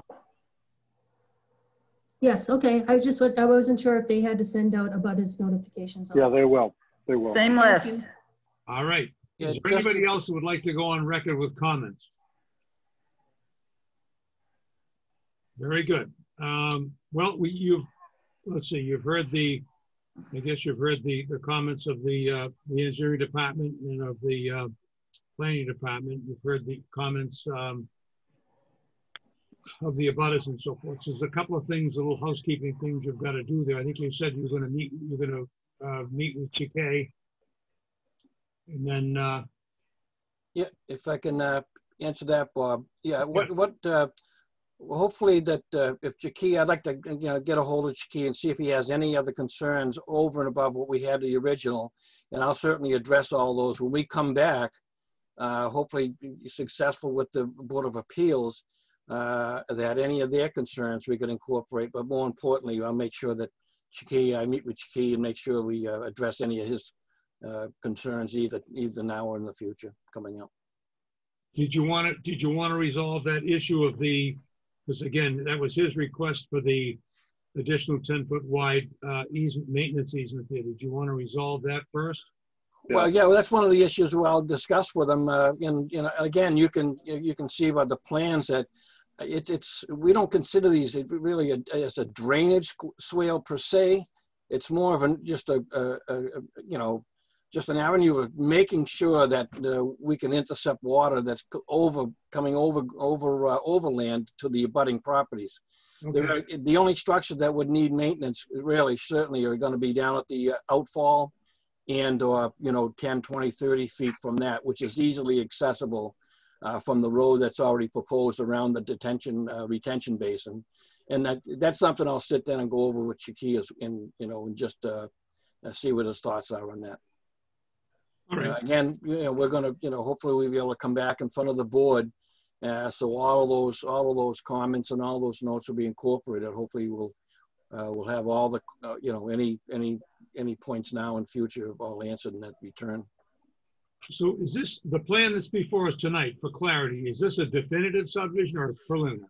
Well, you know, we're actually, uh, because we were, we were kind of caught in the switch uh, from Board of Appeals first into the planning board. So we were always used to going to the Board of Appeals first and then incorporating uh, that, those input into the final definitive plans. Right. Even though our, our plans, we try to be as thorough as possible to answer all questions on both boards. But we're, we're, we're, we're tossed up as uh, far as the procedure. Uh, you know, we've just switched into whatever the city has mandated, you know, we go through. Uh, so it's, it's whatever we can, it- whatever the board wants to interpret it as, I believe. Uh, we'd like to be able to get its blessing, and go to the Board of Appeals, you know, we still need to, you know, apply under the, under the Board of, under the variance, uh, variances we request with the Board of Appeals. That's- It, it was applied as, it was filed as a definitive. Yes. Okay, but, but in that case, as, as, has been the planning board's rule, if there's changes to the plan, that's why, that's why I'm asking for clarification on that question. If there's, if there's necessary things that have got to be changed on the plan, and we, we, we- uh, uh, correct me if I'm wrong, Mr. May, do we need to see any changes or revisions on the plan prior to acting on the plan? We've gotten, in we've gotten into a little jam by doing that before. I, I think that the Chike engineering issues need to be worked out and, and it would make sense to, um, Continue? continue, but I, I think that we have enough here that they can proceed to the zoning board of appeals. Um, That seems. the engineering, the engineering issues, the easement issues are, are, shouldn't hold up the ZBA decision. I agree. So I like that. If that's, if that's allows them an avenue to, to proceed, um, then we could, what we could do is we could give a recommendation to go forward to the zoning board and yet, but yet not give a definitive approval because there's other two small, I mean, we've covered a lot of ground. Uh, there's a lot of things that have been ironed out, which is, which is good for everybody. But you can see there's a few loose ends there. So if that's, if I'm, if I'm on the right, uh, um, thought process here, if we can. I, we I, can- I would like to nail those loose ends down before you give a final, final approval.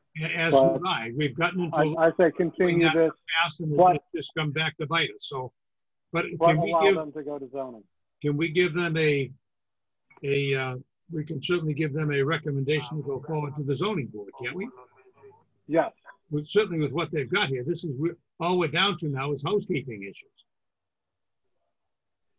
I think you can do that. It's, it's, is there, I don't think there's any sort of rule etched in stone as to what's actually required to go to the Board of Appeals, other than we come to the planning board. I think it's sort of been decided it's a preliminary, but, but I think a letter to the board would suffice. Can I make a motion to um, continue with a positive recommendation to ZBA? I like your wording. I'll second that motion. All right, so we've got a, we've got a motion to continue the definitive, definitive subdivision hearing with the planning board. And, and at the same time, there's been a recommendation, a motion to advance to the applicant um, a, a, a, an endorsement to go to the zoning board of appeals. Are we, are we good with that recommendation, with that, with that, um, motion? Um, when do you want to continue to? When would you like to continue the sub, the definitive subdivision hearing? Well, if I could answer, uh, Bob, it, would it be, would it be best, uh, best interest all around? We'd like to go to the Board of Appeals. When you say to be continued, we, we know, we, we just in- always anticipated coming back uh, Yeah. before there was any approval under the, under the definitive subdivision submittal. Uh, What do we say, the Board three of months? Action. Could we What do come we back three- uh, three- after three the months action and- from the Board of Appeals? About three, speaking about three months, Bill. Yeah, I think January would be good. January, he's recommending January. That's fine with us. Yeah, I mean, it would, it it would depend on the length that we, we'd, we'd be in, uh, going through the Board of Appeals, which is, that's, that's, that's, that's fine with us. Whatever the board, uh, uh, uh, recommends, that's good. All right, so can you incorporate that? I guess you can incorporate that into the, into the motion. Was there, was there a second on the motion? I believe there was from Reggie. Reggie, Reggie, okay, second for Reggie. Okay, so if there's no other discussion, Pam, are we good? Ah, Mr. McCluskey. Yes, ma'am. You for a letter freezing the time clock through January. I understand through this whole COVID thing, we're technically frozen anyway. However, uh, We, we would waive, uh, we law would, agree- office likes us to just get that in writing. yep. We'll waive. You can waive it in, wri- could you waive it in an email to me? John, I'll, uh, I'll, uh, I'll have the form. I'll, uh, I'll fill it out and send it to you and, uh, we'll have Freddie sign it. And yes, Pam, it'll be in your desk. Okay, thank you. Okay, thanks. Okay, uh, if there's no, if we're, I guess if we're all good and there's no other commentary, uh, roll call by vote. Uh, Craig Pina, Yes. Reggie Thomas, Yes. Toni Goncalves, Yes. Larry Hassan, Yes. Bob Pelaggi is a yes. So it looks like you're on, on to the zoning board of appeals. Well, we want to Thank thank the board very much, uh, and, uh, all the input that we got as well. So. Yes, thank you very we're, much. uh, Much Looking forward to it. appreciated. And thank you for a, a very thorough um, set of plans and a very thorough uh, presentation on, on the, uh, on the subdivision. It's not an easy subdivision. It's, it has, it has its complications. So thank you for your input.